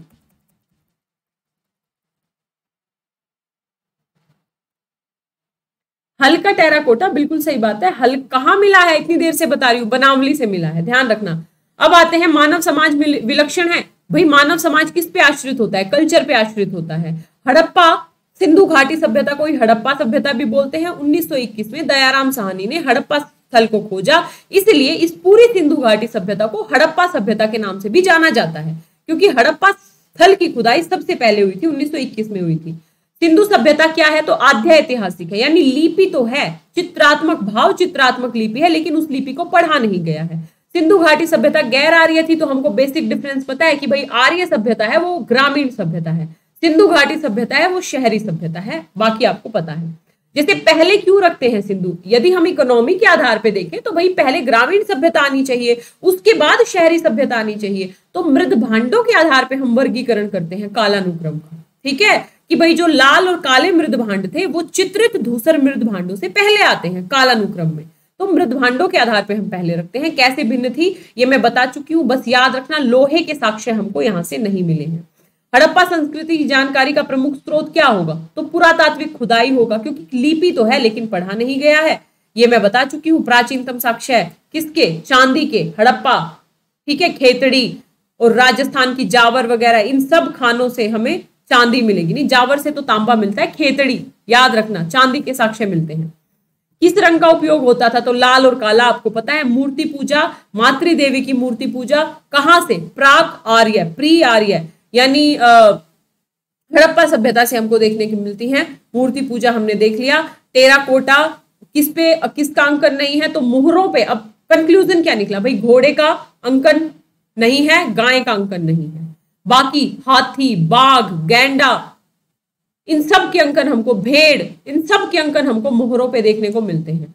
घोड़े का और गाय का अंकन मोहरों पे नहीं है। लेकिन, अगर वो ये कह दे, घोड़ा था ही नहीं गाय थी ही नहीं तो गलत हो जाएगा, क्योंकि हमको प्रमाण गाय के भी मिले हैं, लेकिन प्रमुख नहीं थी, हमको प्रमाण घोड़े के भी मिले हैं, लेकिन प्रमुख नहीं थे। यहाँ तक समझ में आया रिवीजन करा दू ना? कंफ्यूज तो नहीं हो रहे रिवीजन करा दू, कोई दिक्कत नहीं है ना? थम्स अप दे दो एक बार। रिवीजन करा दूँगी तो ये पता लग जाएगा कि भाई यही तो पाँच सात तरीके के क्वेश्चन पूछे जाते हैं हड़प्पा सभ्यता से। हाय तो मचाते हुए घूमते हैं हम। ठीक है। ये देख लिया। इसके बाद हमने, हमें ये देखना है भाई कहाँ कहाँ से क्या मिला है। लोथल से गोदीवाड़ा मिला है, पता है हमको। जी कालीबंगा से जुता हुआ खेत मिला है। धोलावीरा से हमको दस चिन्हों वाला एक शिलालेख मिला है। दूसरा बात, धोलावीरा से हमको रिजर्वेयर मिला है। उन्नत जल प्रबंधन व्यवस्था के साक्ष्य मिले हैं। तीसरी बात, धोलावीरा से हमें जो नगर मिला है, वो तीन भागों में बटा हुआ था। बनावली से हमको क्या मिला है? तो जी हल मिला है। जुते हुए खेत कालीबंगा ये सब हमको पता है भाई, हड़प्पा से हमें कब्रिस्तान, लोथल से हमें गोदीवाड़ा कालीबंगा से हमें जुता हुआ खेत और मोहनजोदड़ो से नर्तकी की मूर्ति और विशाल स्नानागर भी हमको कहाँ से मिला है? मोहनजोदड़ो से मिला है। याद हो रही है चीज़ें? ये वही वाली कौन सी नदी किसके किनारे है?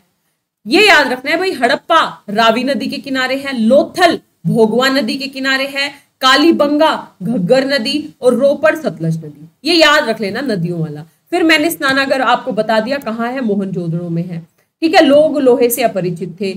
ये कौन सा स्थल कहाँ है, ये आपको अभी तक पता लग गया होगा कि भाई कौन कौन से स्थल कहाँ कहाँ है। ठीक है यूपी वाला, जैसे मांडा महाराष्ट्र में है, दायमा सॉरी मांडा जम्मू में है, दायमाबाद महाराष्ट्र में है, कालीबंगा आपका राजस्थान में है, राखीगढ़ी हरियाणा में है।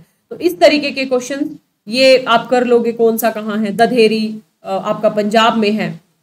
लोथल आपका किस नदी पे है तो भोगवा नदी पे है। लोथल गुजरात में है पत्तन नगर लोथल है, जो कि गुजरात में है, भोगवा नदी पे है। घुमा फिरा के, जो बच्चे एग्ज़ाम देने जा रहे हैं, घुमा फिरा के क्वेश्चन यहीं से बनेगा। पाँच छह चीज़ें क्रिस्टल क्लियर होनी चाहिए कि भाई मंदिर के साक्ष्य नहीं है, रथों के साक्ष्य हमको नहीं मिलते। ठीक है? भाई एक भौतिक सभ्यता, एक लौकिक सभ्यता हमको देखने से दिखती है। भाई हड़प्पा सभ्यता के लोग क्या थे? अब ये कोई धार्मिक, यदि देखो इसको कैसे समझना है? जो धार्मिक सभ्यता होगी ना, वो फिर फ़ैशन पे ज़्यादा ध्यान नहीं देगी। उसका होगा फिर पूजा पाठ करो, बढ़िया, अपना जो है, बस। लेकिन हम हड़प्पा सभ्यता को देखते हैं, भौतिक सभ्यता दिखती है अलग अलग आभूषण दिखते हैं आपको यहाँ पे। अलग अलग डिज़ाइनिंग दिखती है, कपड़ों की डिज़ाइनिंग केश सज्जा। आप जब पुरोहित की मूर्ति देखोगे ना तो देखोगे कि बालों को भी बहुत बेहतरीन तरीके से सजाया हुआ है उन्होंने। ठीक है? तो ध्यान रखिएगा। स्थल कौन सा नहीं है पाटलिपुत्र? सबसे बड़ा स्थल याद रखना, राखीगढ़ी सबसे बड़ा स्थल है, राखीगढ़ी। देख लिया आपने कौन कौन सी नदियाँ? तो गंगा नदी से हड़प्पा सभ्यता का कोई संबंध नहीं है। सिंधु, चिनाब, झेलम, ठीक है? लोग पूजा करते थे पशुपति की। पुरातात्विक ये कोई ज़रूरत नहीं है। दो दो लोगों के नाम याद रखने हैं दयाराम साहनी 1921 हड़प्पा और राखल दास बनर्जी 1922 मोहन जोदड़ो। ठीक है? इसके बाद आप लोग ऑलमोस्ट कर चुके हो। कहा कौन कौन कौन से हैं? ये क्रम कौन सा है? निम्न धातु तो सबसे पहले धातु कौन सी प्रयोग की गई थी? तांबा, ठीक है? अभी तक किस धातु की प्राप्ति नहीं हुई है? तो लो इसकी लोहे की, ये सब आप कर चुके हो। धोलावीरा में रिजर्वेयर कहाँ मिला है? धोलावीरा में तीन भागों में कौन सा बटा है? धोलावीरा, जल प्रबंधन उन्नत धोलावीरा, ठीक है? सनोली से याद रखना, अभी हाल फ़िलहाल में उत्खनन हुआ है तो शवाधान मिले हैं। उत्तर से दक्षिण, एक तरीके से गाड़े हुए शवाधान, जिसमें हमें सामग्रियाँ भी मिलती हैं, ठीक है? कपास की खेती भारत में लौकिक सभ्यता थी, ये मैं करा चुकी हूँ। ग्यारह में क्वेश्चन आया, तेरह में क्वेश्चन आया एलिमिनेशन मेथड से क्वेश्चन निकल सकता था। ये हो गई हमारी सिंधु सभ्यता खत्म। हम सब दे दो इसी बात पे, फटाफट। पीडीएफ आपको अभी आधे घंटे में मिल जाएगा। क्लास, अभी दूसरा भाई, दूसरा टॉपिक आ रहा है। क्लास के जस्ट आधे घंटे के बाद आप लोगों को पीडीएफ मिल जाएगा। मैं भी पानी पी लूँ। वीडियो को कृपया करके लाइक कर दीजिए शेयर कर दीजिए। सुबह वाली वीडियो आप लोगों ने देख ही ली होगी। ठीक है, अब दोबारा क्या कहूँ? एक वीडियो में मैं अपनी सारी भावनाओं को व्यक्त कर चुकी हूँ आप लोगों के सामने।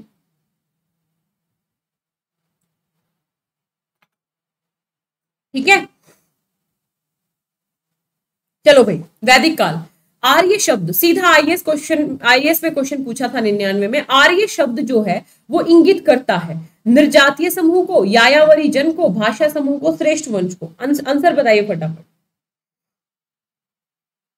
अरे, अभी जान नहीं रही रोहित, मुझे पता था, यहाँ बच्चे जैसे ही टॉपिक खत्म thank you so much ma'am thank you so much ma'am take care ma'am bye bye ma'am अरे, आ गया, दूसरा टॉपिक आ गया। आंसर बताओ। कुछ क्वेश्चन करेंगे, पूरा नहीं निपटाऊँगी, कुछ क्वेश्चन करेंगे। मैराथन तीन घंटे का लेने वाली थी, लेकिन थोड़ा जल्दी छोड़ दूँगी, क्योंकि मेरी थोड़ी सी व्यस्तता है कहीं। याद रखना, आर्य शब्द इंगित करता है श्रेष्ठ जन को। ठीक है? श्रेष्ठ जन, कुलीन, सभ्य, उत्तम व्यक्ति, ये सब आर्य शब्द को इंगित करते हैं। ठीक है? याद रखिएगा। जैसे क्लासिकीय संस्कृति में आर्य शब्द का अर्थ है ईश्वर में विश्वासी, एक वंशानुगत जाति, किसी धर्म विशेष में विश्वास रखने वाला एक उत्तम व्यक्ति। बताइए फटाफट। क्लासिकीय संस्कृति में आर्य शब्द का अर्थ क्या होगा? आंसर बताइए फटाफट।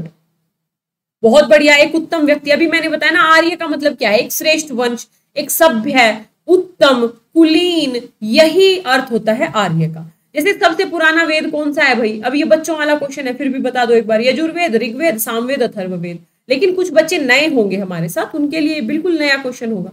बताओ फटाफट एबीसीडी सबसे पुराना वेद कौन सा है? याद रखिएगा, चार वेद हैं हमारे। इनमें से तीन को त्रयी बोलते हैं, त्रयी। जो पहले तीन वेद हैं, उनको त्रयी बोलते हैं। और सबसे पुराना वेद है ऋग्वेद। याद रखिएगा, ऋग्वेद ईश्वर की महिमा है। ईश्वर की स्तुतियाँ हैं इसमें। स्तुतियाँ। ईश्वर की महिमा, ईश्वर की स्तुतियाँ। एक हज़ार अट्ठाईस सूक्त हैं। और लगभग दस हज़ार पाँच सौ बावन इसमें ऋचाएँ हैं। सूक्त, स्त्रोत, श्लोक, ठीक है? याद रखिएगा, सबसे पुराना वेद है ऋग्वेद। जैसे त्रय त्रय क्या है? पूछ लेगा सीधा, सिंपल क्वेश्चन पूछ लेगा, भाई त्रय क्या है? तीन वेद हैं, धर्म संघ युद्ध को त्रय बोलते हैं, हिंदू धर्म के तीन देवताओं को त्रय बोलते हैं, तीन मौसमों को त्रय बोलते हैं। बताओ त्रय क्या है?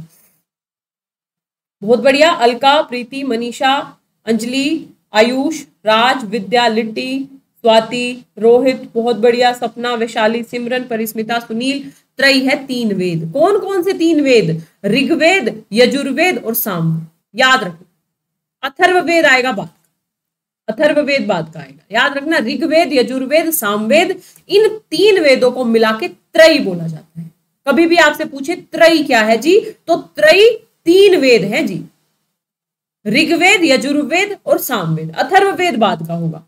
जैसे ये बताओ, किस वैदिक ग्रंथ में वर्ण शब्द का पहली बार नामोल्लेख किया गया है? वर्ण शब्द पहली बार हमको कहाँ दिखता है? ऋग्वेद में, अथर्ववेद में, सामवेद में, यजुर्वेद में। आंसर बताओ फटाफट, वर्ण कहाँ मिलता है?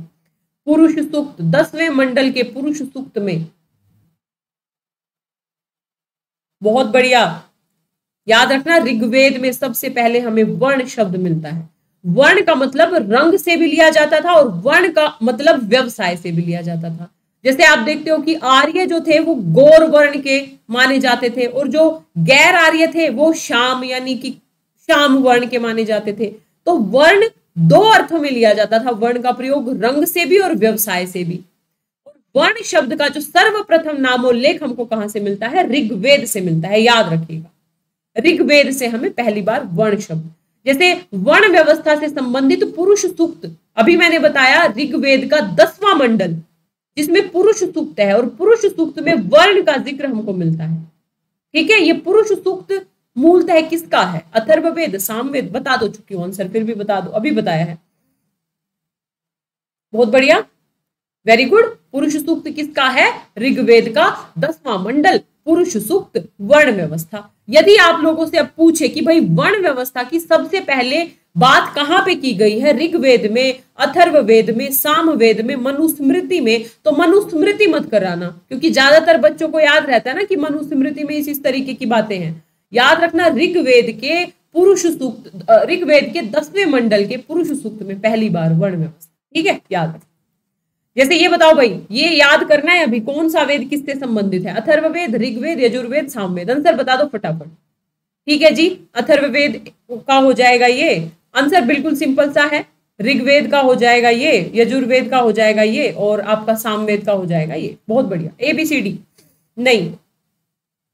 आंसर बताओ। वेरी गुड लिट्टी शेरल परिस्मिता, ध्यान से बच्चे, अंजलि, रानी एसपी साक्षी, पूजा पांडे ध्यान से, बच्चे ध्यान से। कोई बात नहीं, इस तरीके के क्वेश्चन में कई बार कंफ्यूजन होता है, याद रखना। सामवेद, सबसे पहले आपको याद रखना है, सामवेद संबंधित है, संगीत से। दूसरी बात, ऋग्वेद आपको याद रखना है, ईश्वर की महिमा, ईश्वर की महिमा, स्तुतियाँ। तो ऋग्वेद किससे संबंधित है? ईश्वर की महिमा से संबंधित है। अथर्ववेद आपको याद रखना है, दोस्तों, औषधियों से संबंधित है, अथर्ववेद। अथर्ववेद औषधियों से संबंधित है। यजुर्व वेद आपको याद रखना है। बलिदान विधि प्लस कर्म कांड प्लस यजुर्वेद, यज्ञ यज्ञ कर्म कांड बलिदान, ये सब आपको कहा मिलेगा? यजुर्वेद। दोबारा सुन लो। ऋग्वेद में हमको ईश्वर की महिमा दिखेगी। ठीक है जी? अथर्ववेद में हमको क्या? अथर्ववेद औषधियों से संबंधित जो भी विधि विधान है वो दिखेगा। सामवेद संगीत से संबंधित है। और आपका यजुर्वेद, बलिदान कर्म कांड यज्ञ आदि से संबंधित है। आंसर क्या हो जाएगा? अभी आएगा, रुद्रांशी, वो भी क्वेश्चन आएगा। उसको मैं लिंक से याद कराऊँगी। कई बच्चे ना, अभी आएगा तो मैं बताती हूँ। जैसे ये आ गया। ऋग्वेद, यजुर्वेद, सामवेद, अथर्ववेद। अब बताइए आंसर क्या होगा? आंसर तो इसका एक से ही निकल जाएगा, लेकिन फिर भी। आंसर बताइए। एका हो जाएगा, ठीक है जी।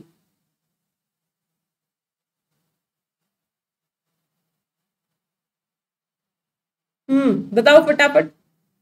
ए का हो जाएगा ये और बी का हो जाएगा आपका, मान लो ए का ये हो गया सी का हो जाएगा ये, बहुत इजीली आंसर निकल गया है।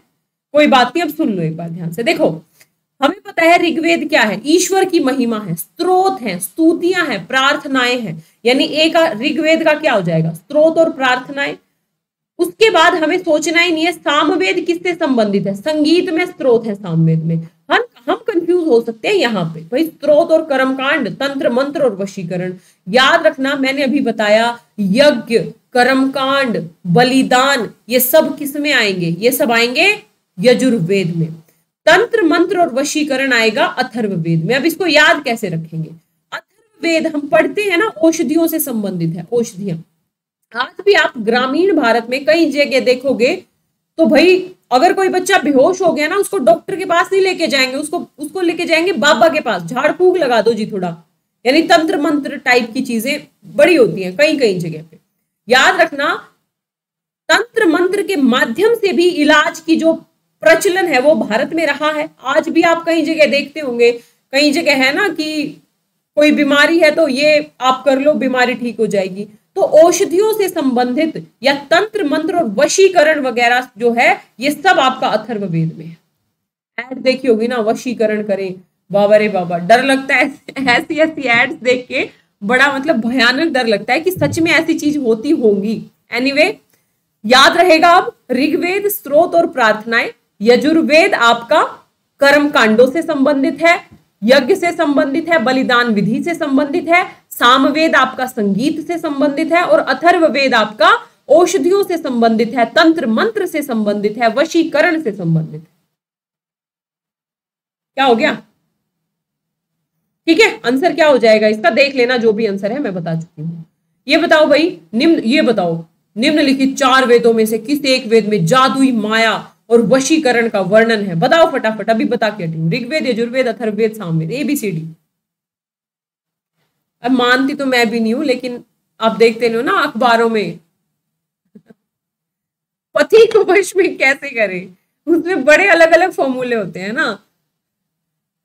शादी के लिए घर वालों को कैसे मनाए? पति को वश में कैसे करें? ठीक है, और भी कई तरीके के आप अखबारों की छोटी छोटी कटिंग मिलेंगी आपको। वशीकरण, जादू टोना, ये किस वेद में है? याद रखना, ये सब कहाँ पे है? अथर्व वेद में। याद रखिएगा। अथर्व वेद में। कुछ नहीं होता अच्छा काम करो, ठीक है? खुद भी खुश रहो, सामने वाले को भी हंसने दो, अब सारा दिन दिमाग खाओगे तो कहाँ से खुश रख पाओगे? चलो, ध्यान रखना, जादुई माया और वशीकरण का संबंध किससे है? अथर्ववेद से। क्या ये कौन है? ए टू मोटिवेशन ममता कह रही है बॉयफ्रेंड होता है भाई, वशीकरण बिल्कुल सही बात है। इस तरीके के एडवर्टाइजमेंट आपको बहुत देखने को मिलेंगे। इन चीज़ों पे ध्यान नहीं रखना, पढ़ाई पे ध्यान दो। कुछ नहीं होता ये, बर्बाद होते हैं इनके चक्करों में। चलो, ये बताओ भाई, ऋग्वेद क्या है? स्त्रोतों का संकलन है, कथाओं का संकलन है, युद्ध का संकलन है, शब्दों का संकलन है, मैं बता चुकी हूँ। अभी फटाफट बताओ।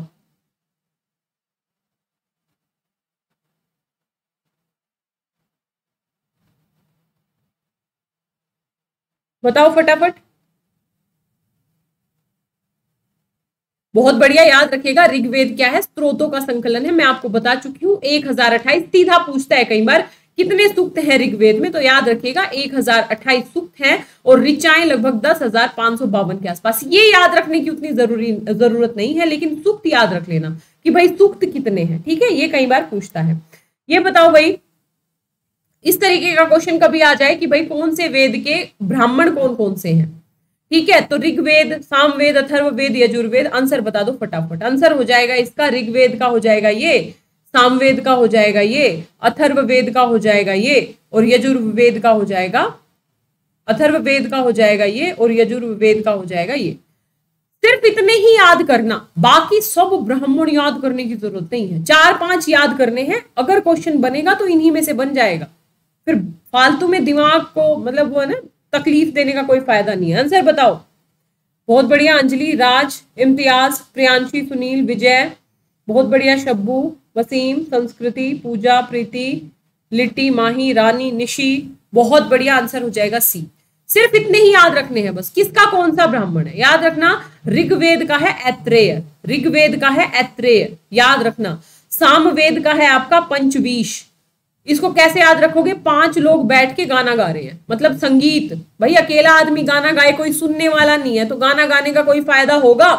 यार, ये बस मैं इसलिए बोलती हूँ, ये बच्चों वाले जो ट्रिक्स है ना, आपको एग्ज़ाम हॉल में कई बार बड़े काम आते हैं। ये पंचवीश किसका था भाई? ऋग्वेद का था कि सामवेद का था? हमें पता है सांगवेद सामवेद संस्कृत, संगीत से संबंधित है। आप अकेले गाना गाओ, मज़ा नहीं आएगा। किसी को सुनाओगे तब ना मज़ा आएगा। पाँच लोग बैठ के गाओ, बहुत मज़ा, खूब रंग जमता है, पाँच लोग बैठ के गाना गाते हैं। तो याद रखना, सामवेद का है पंचवीश। उसके बाद अथर्व वेद का याद रखेगा अथर्व वेद का है गोपत गोपत और यजुर्वेद का है शतपथ। ये चारों याद रख लेना।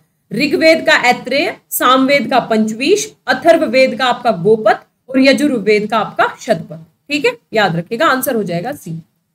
निम्नलिखित में से कौन सा ब्राह्मण ग्रंथ ऋग्वेद से संबंधित है? बताओ फटाफट, ऋग्वेद का कौन सा है? अभी बता के हटी ऐत्रेय, गोपत, शतपथ, तैत्रीय एबीसीडी ताल से ताल। बिल्कुल सही बात है, याद रखिएगा, ऋग्वेद का है, ऐत्रेय। बस ये पाँच याद रख लेना, जैसे गोपत अभी मैंने बताया किसका है? अथर्व वेद का है गोपत, यजुर्वेद का है आपका शतपथ। ऐत्रेय किसका है? ऋग्वेद का, और पंचवीश किसका है आपका? अथर, इसका, क्या नाम है इसका? सामवेद का, पंचवीश, पाँच, ठीक है? जैसे गोपथ किससे संबंधित है? अभी बता के हटी हूँ। गोपथ किसका है भाई? बताओ फटाफट। यजुर्वेद, ऋग्वेद, अथर्ववेद, सामवेद। अभी बता के हटी हूँ। गोपथ किसका है? गोपथ एबीसीडी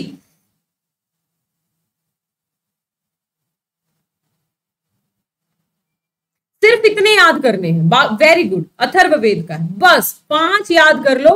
अगर परीक्षा में आना होगा तो आ जाएगा। और यदि फिर दूसरा आया तो फिर वो मैक्सिमम लोगों से नहीं होगा। इस बात को ध्यान रखना, कितना रटेंगे। जैसे ऋग्वेद ये बहुत इंपॉर्टेंट है, भाई बताओ फटाफट, ऋग्वेद का कौन सा मंडल पूर्णतः सोम को समर्पित है? तो सातवां, आठवां, नौवां, दसवां। फटाफट बताओ, बहुत अच्छा क्वेश्चन है ये। कौन सा मंडल है ऋग्वेद का जो पूरी तरीके से सोम को समर्पित है?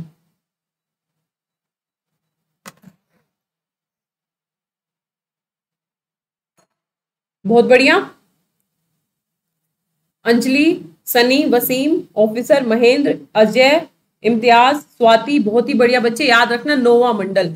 ऋग्वेद का नोवा मंडल पूरी तरीके से सोम को समर्पित है। दसवां मंडल आपको पता है ना, पुरुष सूक्त। हमने अभी पढ़ा था, जिसमें वर्ण व्यवस्था, ये सारी चीज़ें। तो नोवा मंडल ऋग्वेद का पूर्ण तरीके से सोम को समर्पित है। अब जैसे ये बताओ, यज्ञ संबंधी जो विधि विधान है, इनका पता कहाँ से लगता है हमको? ऋग्वेद से, सामवेद से, ब्राह्मण ग्रंथों से, यजुर्वेद से? फटाफट बताओ आंसर, करवा चुकी हूँ। यज्ञ संबंधी जो विधि विधान है, कर्म कांड है, बलिदान विधियाँ हैं, इनका पता हमको कहाँ से लगता है? ए बी सी डी बहुत ही बढ़िया। यज्ञ संबंधी जो विधि विधान है, उनका पता हमको लगता है यजुर्वेद से। याद आया? ऋग्वेद मतलब ईश्वर की स्तुतियाँ सामवेद मतलब संगीत अथर्ववेद मतलब औषधियाँ जादू टोना वशीकरण जादू माया ये सब अथर्ववेद में है। और यजुर्वेद मतलब बलि, बलिदान विधि कर्म कांड यज्ञ ये सब किसमें आ जाएगा? यजुर्वेद में आ जाएगा। बहुत बढ़िया। जैसे निम्नलिखित में से किसका संकलन ऋग्वेद पे आधारित है? भाई बताओ यजुर्वेद सामवेद अथर्ववेद उपरोक्त में से कोई नहीं किसका संकलन ऋग्वेद पे आधारित है? कोई बात नहीं, मैं बता देती हूँ। याद रखिएगा, सामवेद का संकलन ऋग्वेद पे आधारित है। इसके जितने भी श्लोक है ना, उसमें से ज़्यादातर हमने कहा से लिए हैं? ऋग्वेद से लिए गए हैं। इसलिए कहा जाता है कि भाई ये जो सामवेद है ना, इसका संकलन ऋग्वेद पे आधारित है। ठीक है? याद रखिएगा। ये बताओ भाई, भारत के किस स्थल की खुदाई से लोह धातु के प्रचलन के प्राचीनतम प्रमाण मिले हैं? बहुत इंपॉर्टेंट क्वेश्चन है। लोहे के प्राचीनतम प्रमाण कहाँ से मिले हैं? Taxila, Atranjikhera, Kaushambi, Hastinapur A B C D बहुत ही बढ़िया। राना शगुन, वैशाली, इम्तियाज़ अच्छा बच्चा, महेंद्र, गौरव, आरती, जैक, बहुत बढ़िया। बुलबुल बुलबुल नहीं, बाबूलाल। याद रखना अंतरजी खेड़ा अंतरजी, कहा मैं वहाँ लिख रही हूँ? अंतरजी खेड़ा यहाँ पे ना हमें लोहे की भट्टियाँ मिली हैं। ये दिखता है कि यहाँ पे लोहे की, लोहे को गलाने का काम किया जाता होगा। तो याद रखिएगा, लोह धातु के प्रचलन के प्राचीनतम प्रमाण मिलते हैं अंतरजी खेड़ा से। ये बताइए, उपनिषदें हैं, उपनिषद पुस्तकें हैं, किस पे आधारित है उपनिषद? धर्म पे, योग पे, विधि पे, दर्शन पे। सिंपल स्टेटमेंट पूछ सकता है कि उपनिषद किस पे आधारित है? सबको पता होना चाहिए, दर्शन पे आधारित है। यज्ञ को नहीं मानेंगे उपनिषद। ठीक है? वेरी गुड याद रखिएगा, उपनिषद किस पे आधारित है? तो दर्शन पे आधारित है उपनिषद। जैसे वैदिक साहित्य में मोक्ष की चर्चा कहाँ मिलती है? मोक्ष की चर्चा कहाँ मिलेगी? ऋग्वेद में, ब्राह्मण में, परवर्ती संहिताओं में, उपनिषदों में। मोक्ष की चर्चा पहली बार कहाँ मिलती है? वेदों में मिल जाती है क्या मोक्ष की चर्चा? बताओ फटाफट।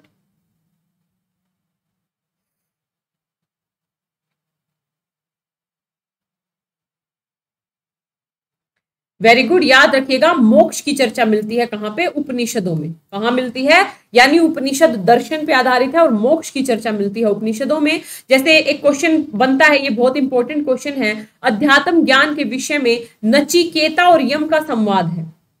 ये जो नचिकेता और यम का संवाद है, ये कौन से उपनिषद में मिलता है? वृद्धा वृद्धारण्य छांदोग्य, कठोपनिषद, केन उपनिषद।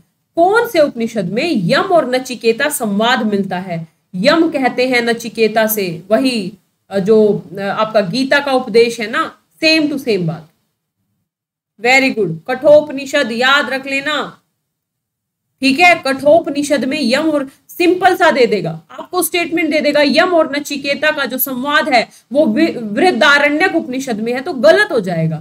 ये फैक्ट पता होना चाहिए कि भाई, यम और नचिकेता का जो संवाद है, वो कठोपनिषद में हमको मिलता है। कठोपनिषद, ठीक है? जैसे नचिकेता आख्यान का उल्लेख कहाँ है? तो बताओ फटाफट। आंसर सेम होगा, यानी कठोपनिषद कठोपनिषद। उपनिषद काल के राजा अश्वपति कहाँ के शासक थे? इस तरीके के क्वेश्चन पीसीएस वगैरह के लिए आप कर सकते हो, जैसे अश्वपति थे के के के। अश्वपति थे के के के, ठीक है? जैसे काशी के आपके अजात शत्रु थे, ध्यान रखना। तो अश्वपति थे के के के। ये बताओ भाई, क्रम बताओ, पहले क्या आया, फिर क्या आया? ऑप्शंस आपके सामने है, देख लो। बहुत ही सिंपल सा है। क्रम बताओ सबसे पहले क्या आया, फिर क्या आया, फिर क्या आया।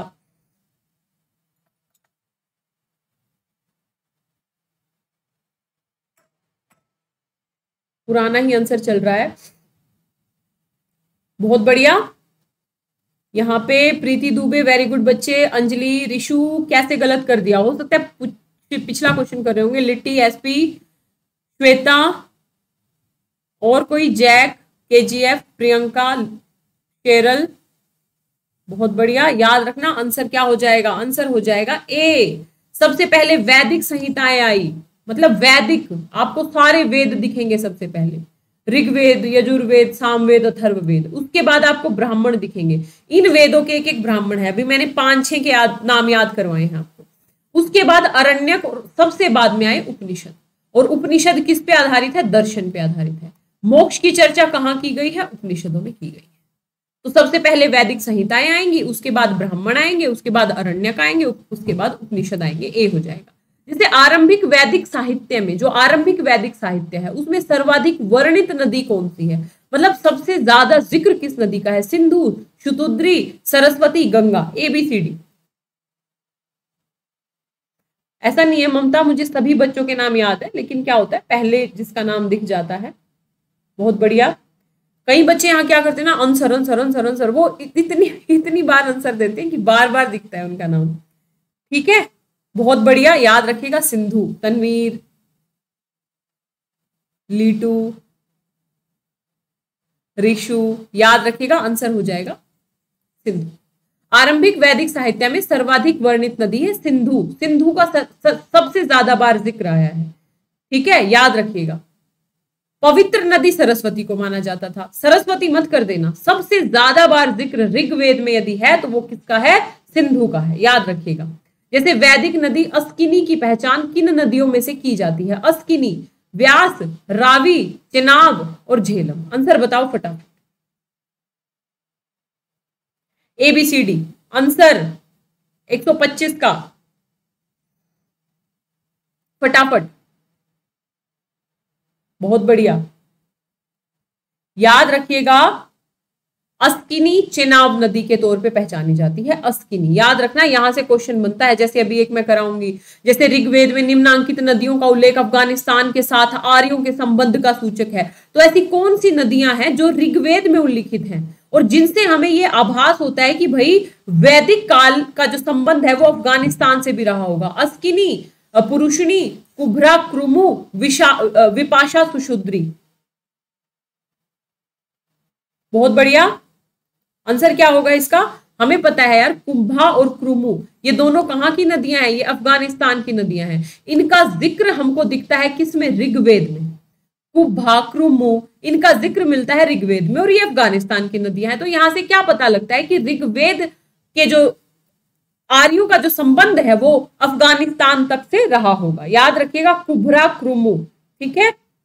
जैसे वैदिक काल की नदी जो कुंभा है, ये कहा इसका स्थान कहाँ निर्धारित होना चाहिए? बहुत ईजी है, आप सबको पता है अफ़गानिस्तान में, तुर्किस्तान में, कश्मीर में, पंजाब में। तो कुंभा का जो स्थान है, वो कहाँ पे होना चाहिए? मोनिका, बिल्कुल नहीं बच्चे, बिल्कुल नहीं। आंसर बताओ फटाफट, याद रखना, आंसर हो जाएगा ए। आंसर कहाँ गए? यार, ये मेरे पेन पे मत जाना, ये पेन कहीं चल रहा है मतलब क्या करूँ मैं अब? चलो, याद रखिएगा अफ़गानिस्तान अफ़गानिस्तान, ठीक है? ये बताओ भाई, कुंभा, पुरुषणी, सदानीरा शुतुद्री ये किस किस आधुनिक नाम कौन से यहाँ से क्वेश्चन बनता है दोस्तों। आंसर बताओ फटाफट। ए का हो जाएगा, एक से ही निकल जाएगा। ठीक है? ठीक है जी। सदानीरा का हो जाएगा ये और सुशुद्री का हो जाएगा ये। आंसर बहुत इजी है। भाई, वैदिक काल में क्या नाम था इनका और वर्तमान में क्या नाम है? ये क्वेश्चन कभी भी बन सकता है। जैसे अभी अभी तक हमने कुबा और क्रुमो देखा कि भाई अफ़गानिस्तान की नदियाँ हैं ऋग्वेद में ज़िक्र है, यानी आर्यों का अफ़गानिस्तान से संबंध रहा होगा। ठीक? इसके अलावा हमने सबसे ज़्यादा बार ज़िक्र किसका है? ऋग्वेद में तो सिंधु देखा। अब ये पूछ रहा है, बहुत बढ़िया, याद रखिएगा, कुभा मतलब काबुल। कुभा को आज कहते हैं काबुल। पुरुषणी, याद रखिएगा, पुरुषणी का हो जाएगा रावी। सदा नीरा, गंडक, और आपका शुतुद्री हो जाएगा सब कुछ याद कर लीजिएगा बहुत ज़रूरी है। जो बच्चे पीसीएस दे रहे हैं, बिल्कुल तीन चार चीज़ें याद करनी है और बहुत ईजी है। कुभा काबुल, पुरुषणी र, पुरुषणी रावी, सदा नीरा गंडक और सुशुद्री सतलज। ठीक है? तो आंसर हमारा हो जाएगा दोस्तों बी ठीक है? जैसे ये बताइए निम्नलिखित में से कौन सी वेदेत्तर काल में प्रचलित थी? वेदेत्तर काल में क्या प्रचलित था? धर्म अर्थ काम मोक्ष। ब्राह्मण क्षत्रिय वैश्य शूद्र, ब्रह्मचर्य गृहस्थ, वानप्रस्थ, संन्यास ऑप्शन आपके सामने हैं। आई का क्वेश्चन है। सिंपल सा पूछ लेगा और सबको पता है। बहुत बढ़िया। संतोष और कोई अंजलि, निशा, नहीं बच्चे, मैं वेदित, मैं वेदोत्तर काल की बात कर रही हूँ बच्चे। याद रखिएगा, वेदोत्तर काल में क्या भाई जीवन की जो अवस्था है इसको माना गया सौ साल का और इसको चार भागों में डिवाइड किया गया, चार भागों में डिवाइड किया गया, पच्चीस पच्चीस पच्चीस पच्चीस। यानी पहले पच्चीस साल ब्रह्मचर्य के हैं, उसके बाद आपके गृह गृहस्थ आश्रम के हैं, ठीक है? उसके बाद आप चले जाओ जंगल में, वन वानप्रस्थ आश्रम के हैं, और उसके बाद आप चले जाओ संन्यास की अवस्था में। वेदोत्तर काल में ये चार अवस्थाएँ तय की गई मानव के जीवन की। ठीक है? याद रखिएगा, वेदोत्तर काल की बात हो रही है। ब्रह्मचर्य, ग्रह गृहस्थ आश्रम वानप्रस्थ आश्रम और संन्यास आश्रम ठीक है? याद रखिएगा। आश्रम व्यवस्था बोलते हैं इसको। तो आश्रम व्यवस्था की शुरुआत बेसिकली हमें वेदोत्तर काल में दिखती है। ठीक है? और कौन कौन से आश्रम है? आपको पता लग जाएगा। ठीक है? लग गया है बेसिकली आपको पता भी होगा। ये बताओ भाई, धर्म और रित। ध्यान से करना। रित का मतलब होता है दोस्तों, नैतिकता। ठीक है? धर्म और रित भारत की प्राचीन वैदिक सभ्यता की एक केंद्रीय विचार को चित्रित करते हैं। आईएएस 2011 का क्वेश्चन है। धर्म व्यक्ति के दायित्वों और स्वयं तथा दूसरों के प्रति व्यक्तिगत कर्तव्यों की संकल्पना है। और रित मूलभूत नैतिक विधान है, जो सृष्टि और उसमें अंतर्निहित सारे तत्वों के क्रियाकलापों को संचालित करते हैं। आंसर क्या होगा? अंजलि, वसीम, जैक, ममता विक्की गलत हो गया, बच्चे, संस्कृति, इम्तियाज़, पूजा, केजीएफ, अपर्णा, बहुत बढ़िया, राज, आनंद, पूनम, याद रखना दोनों सही हैं। बिल्कुल सिंपल सा क्वेश्चन है कि भाई धर्म क्या है? तो धर्म व्यक्ति के कर्तव्य, स्वयं तथा दूसरों के प्रति व्यक्तिगत कर्तव्यों की संकल्पना है। धर्म यही है और रित बेसिकली नैतिक व्यवस्था से जुड़े हुए हैं। दोस्तों, वैदिक काल में वरुण को रित का देवता माना जाता था। याद रखना पूछ लेना आपसे कि नैतिकता का देवता किसे माना जाता था तो वरुण को। वरुण को रितस्य गोपा भी कहा गया है। क्या कहा गया है? रितस्य गोपा, यानी रित का देवता, यानी नैतिकता का देवता। नैतिक संचालन एक तरीके से करते थे। तो रित मूलतः नैतिक विधान है, जो सृष्टि और उसमें अंतर्निहित सारे तत्वों के क्रियाकलापों को, यानी रित की अवधारणा नैतिकता से जुड़ी हुई है। धर्म ये हो जाएगा आंसर हो जाएगा, एक और सी। ये बताइए, भारतीय संस्कृति के अंतर्गत रित क्या है? रित क्या है? प्राकृतिक नियम है, कृत्रिम नियम है, मानवीय नियम है, सामाजिक नियम है? बताओ फटाफट, रित की अवधारणा क्या है? करण, क्या हो गया?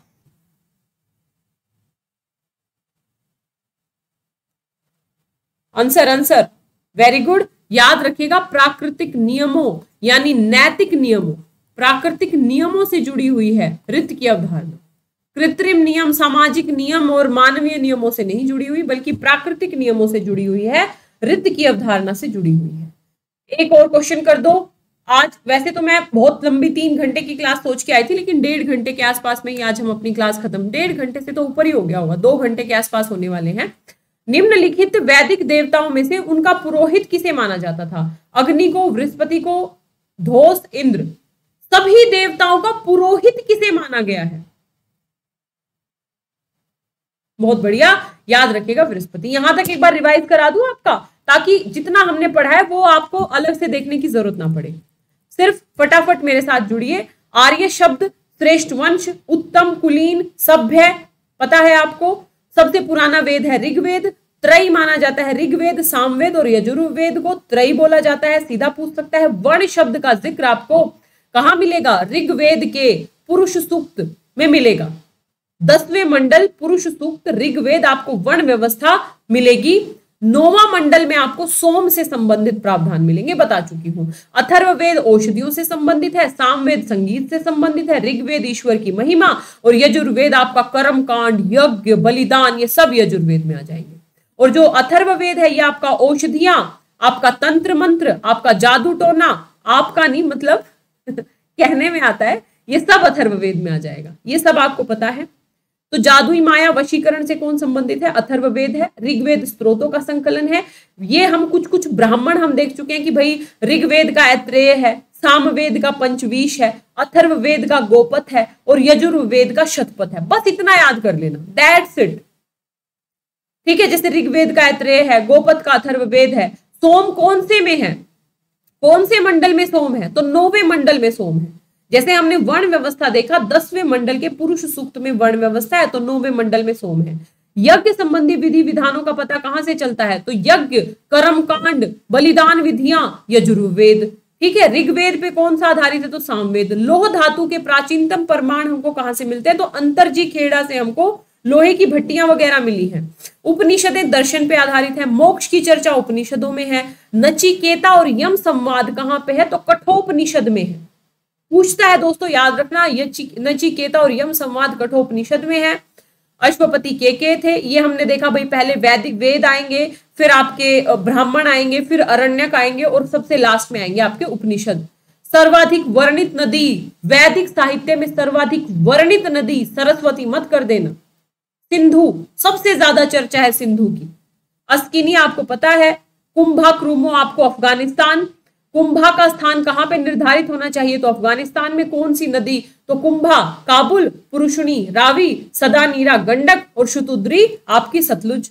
वेदोत्तर काल में कौन सी संकल्पना? तो आश्रम व्यवस्था, ब्रह्मचर्य, गृहस्थ, वानप्रस्थ, संन्यास। ये धर्म और रित को मैं समझा चुकी हूँ। रित के देवता किसे माना जाता था? याद रखिएगा रित के देवता माना जाता था वरुण को। वरुण को कहा जाता था ऋतस्य गोपा। याद रखिएगा, ऋतस्य गोपा, वरुण को। ठीक है? इसके अलावा पुरोहित, सभी देवताओं का पुरोहित माना जाता था बृहस्पति को। तो मुझे एक बार फटाफट ये बता दो, सिंधु सभ्यता और जितना वैदिक काल हमने पढ़ा है, ये सब समझ में आया, याद हुआ? फटाफट बता दो। क्लास अच्छी लगी आप लोगों को? और thank you so much guys हम बहुत अच्छा कर रहे हैं साथ में मिलके। बस आप लोग मेहनत कीजिए। और साथ ही ये पीडीएफ आपको कहाँ पे मिलेगा? ये पीडीएफ आपको मिल जाएगा कहाँ पे? आज शाम की क्लास नहीं होगी। शाम की क्लास की जगह मैंने एक छोटा सा दस मिनट का प्रीमियर रिकॉर्ड किया है। सबसे महत्वपूर्ण जो इस बार पीटी दे रहे हैं वो मत सुनना। जो पीटी दे रहे हैं वो दस मिनट का उस प्रीमियर को बिल्कुल मत सुनना। मैं अपने फ़ायदे के लिए नहीं बोलूँगी, लेकिन हाँ जो बच्चे नए हैं, जो बच्चे किताबें खोज रहे हैं कि भाई हम क्या क्या पढ़ें, वो बच्चे उसको ज़रूर देखना। साढ़े चार बजे वाली आज क्लास नहीं होगी। साढ़े चार बजे वो प्रीमियर आएगा। दस मिनट का प्रीमियर है। साथ कौन कौन सी किताबें हैं जो हमें पढ़नी ही पढ़नी है आई की तैयारी के दौरान। तो दोस्तों, वीडियो को लाइक कर दीजिए। जितना सेशन को शेयर कर सकते हैं शेयर कीजिए। अगर आप लोगों को समझ में आ रहा है मेरे पढ़ाने का तरीका अच्छा लग रहा है कमेंट कीजिए। आपके कमेंट मुझे बहुत मोटिवेट करते हैं मेहनत के लिए। सब्सक्राइब कीजिए चैनल को सब्सक्राइब करवाइए। आज साढ़े चार बजे सात किताबों का एक प्रीमियर आएगा। रात को साढ़े दस बजे तीन सौ छप्पन।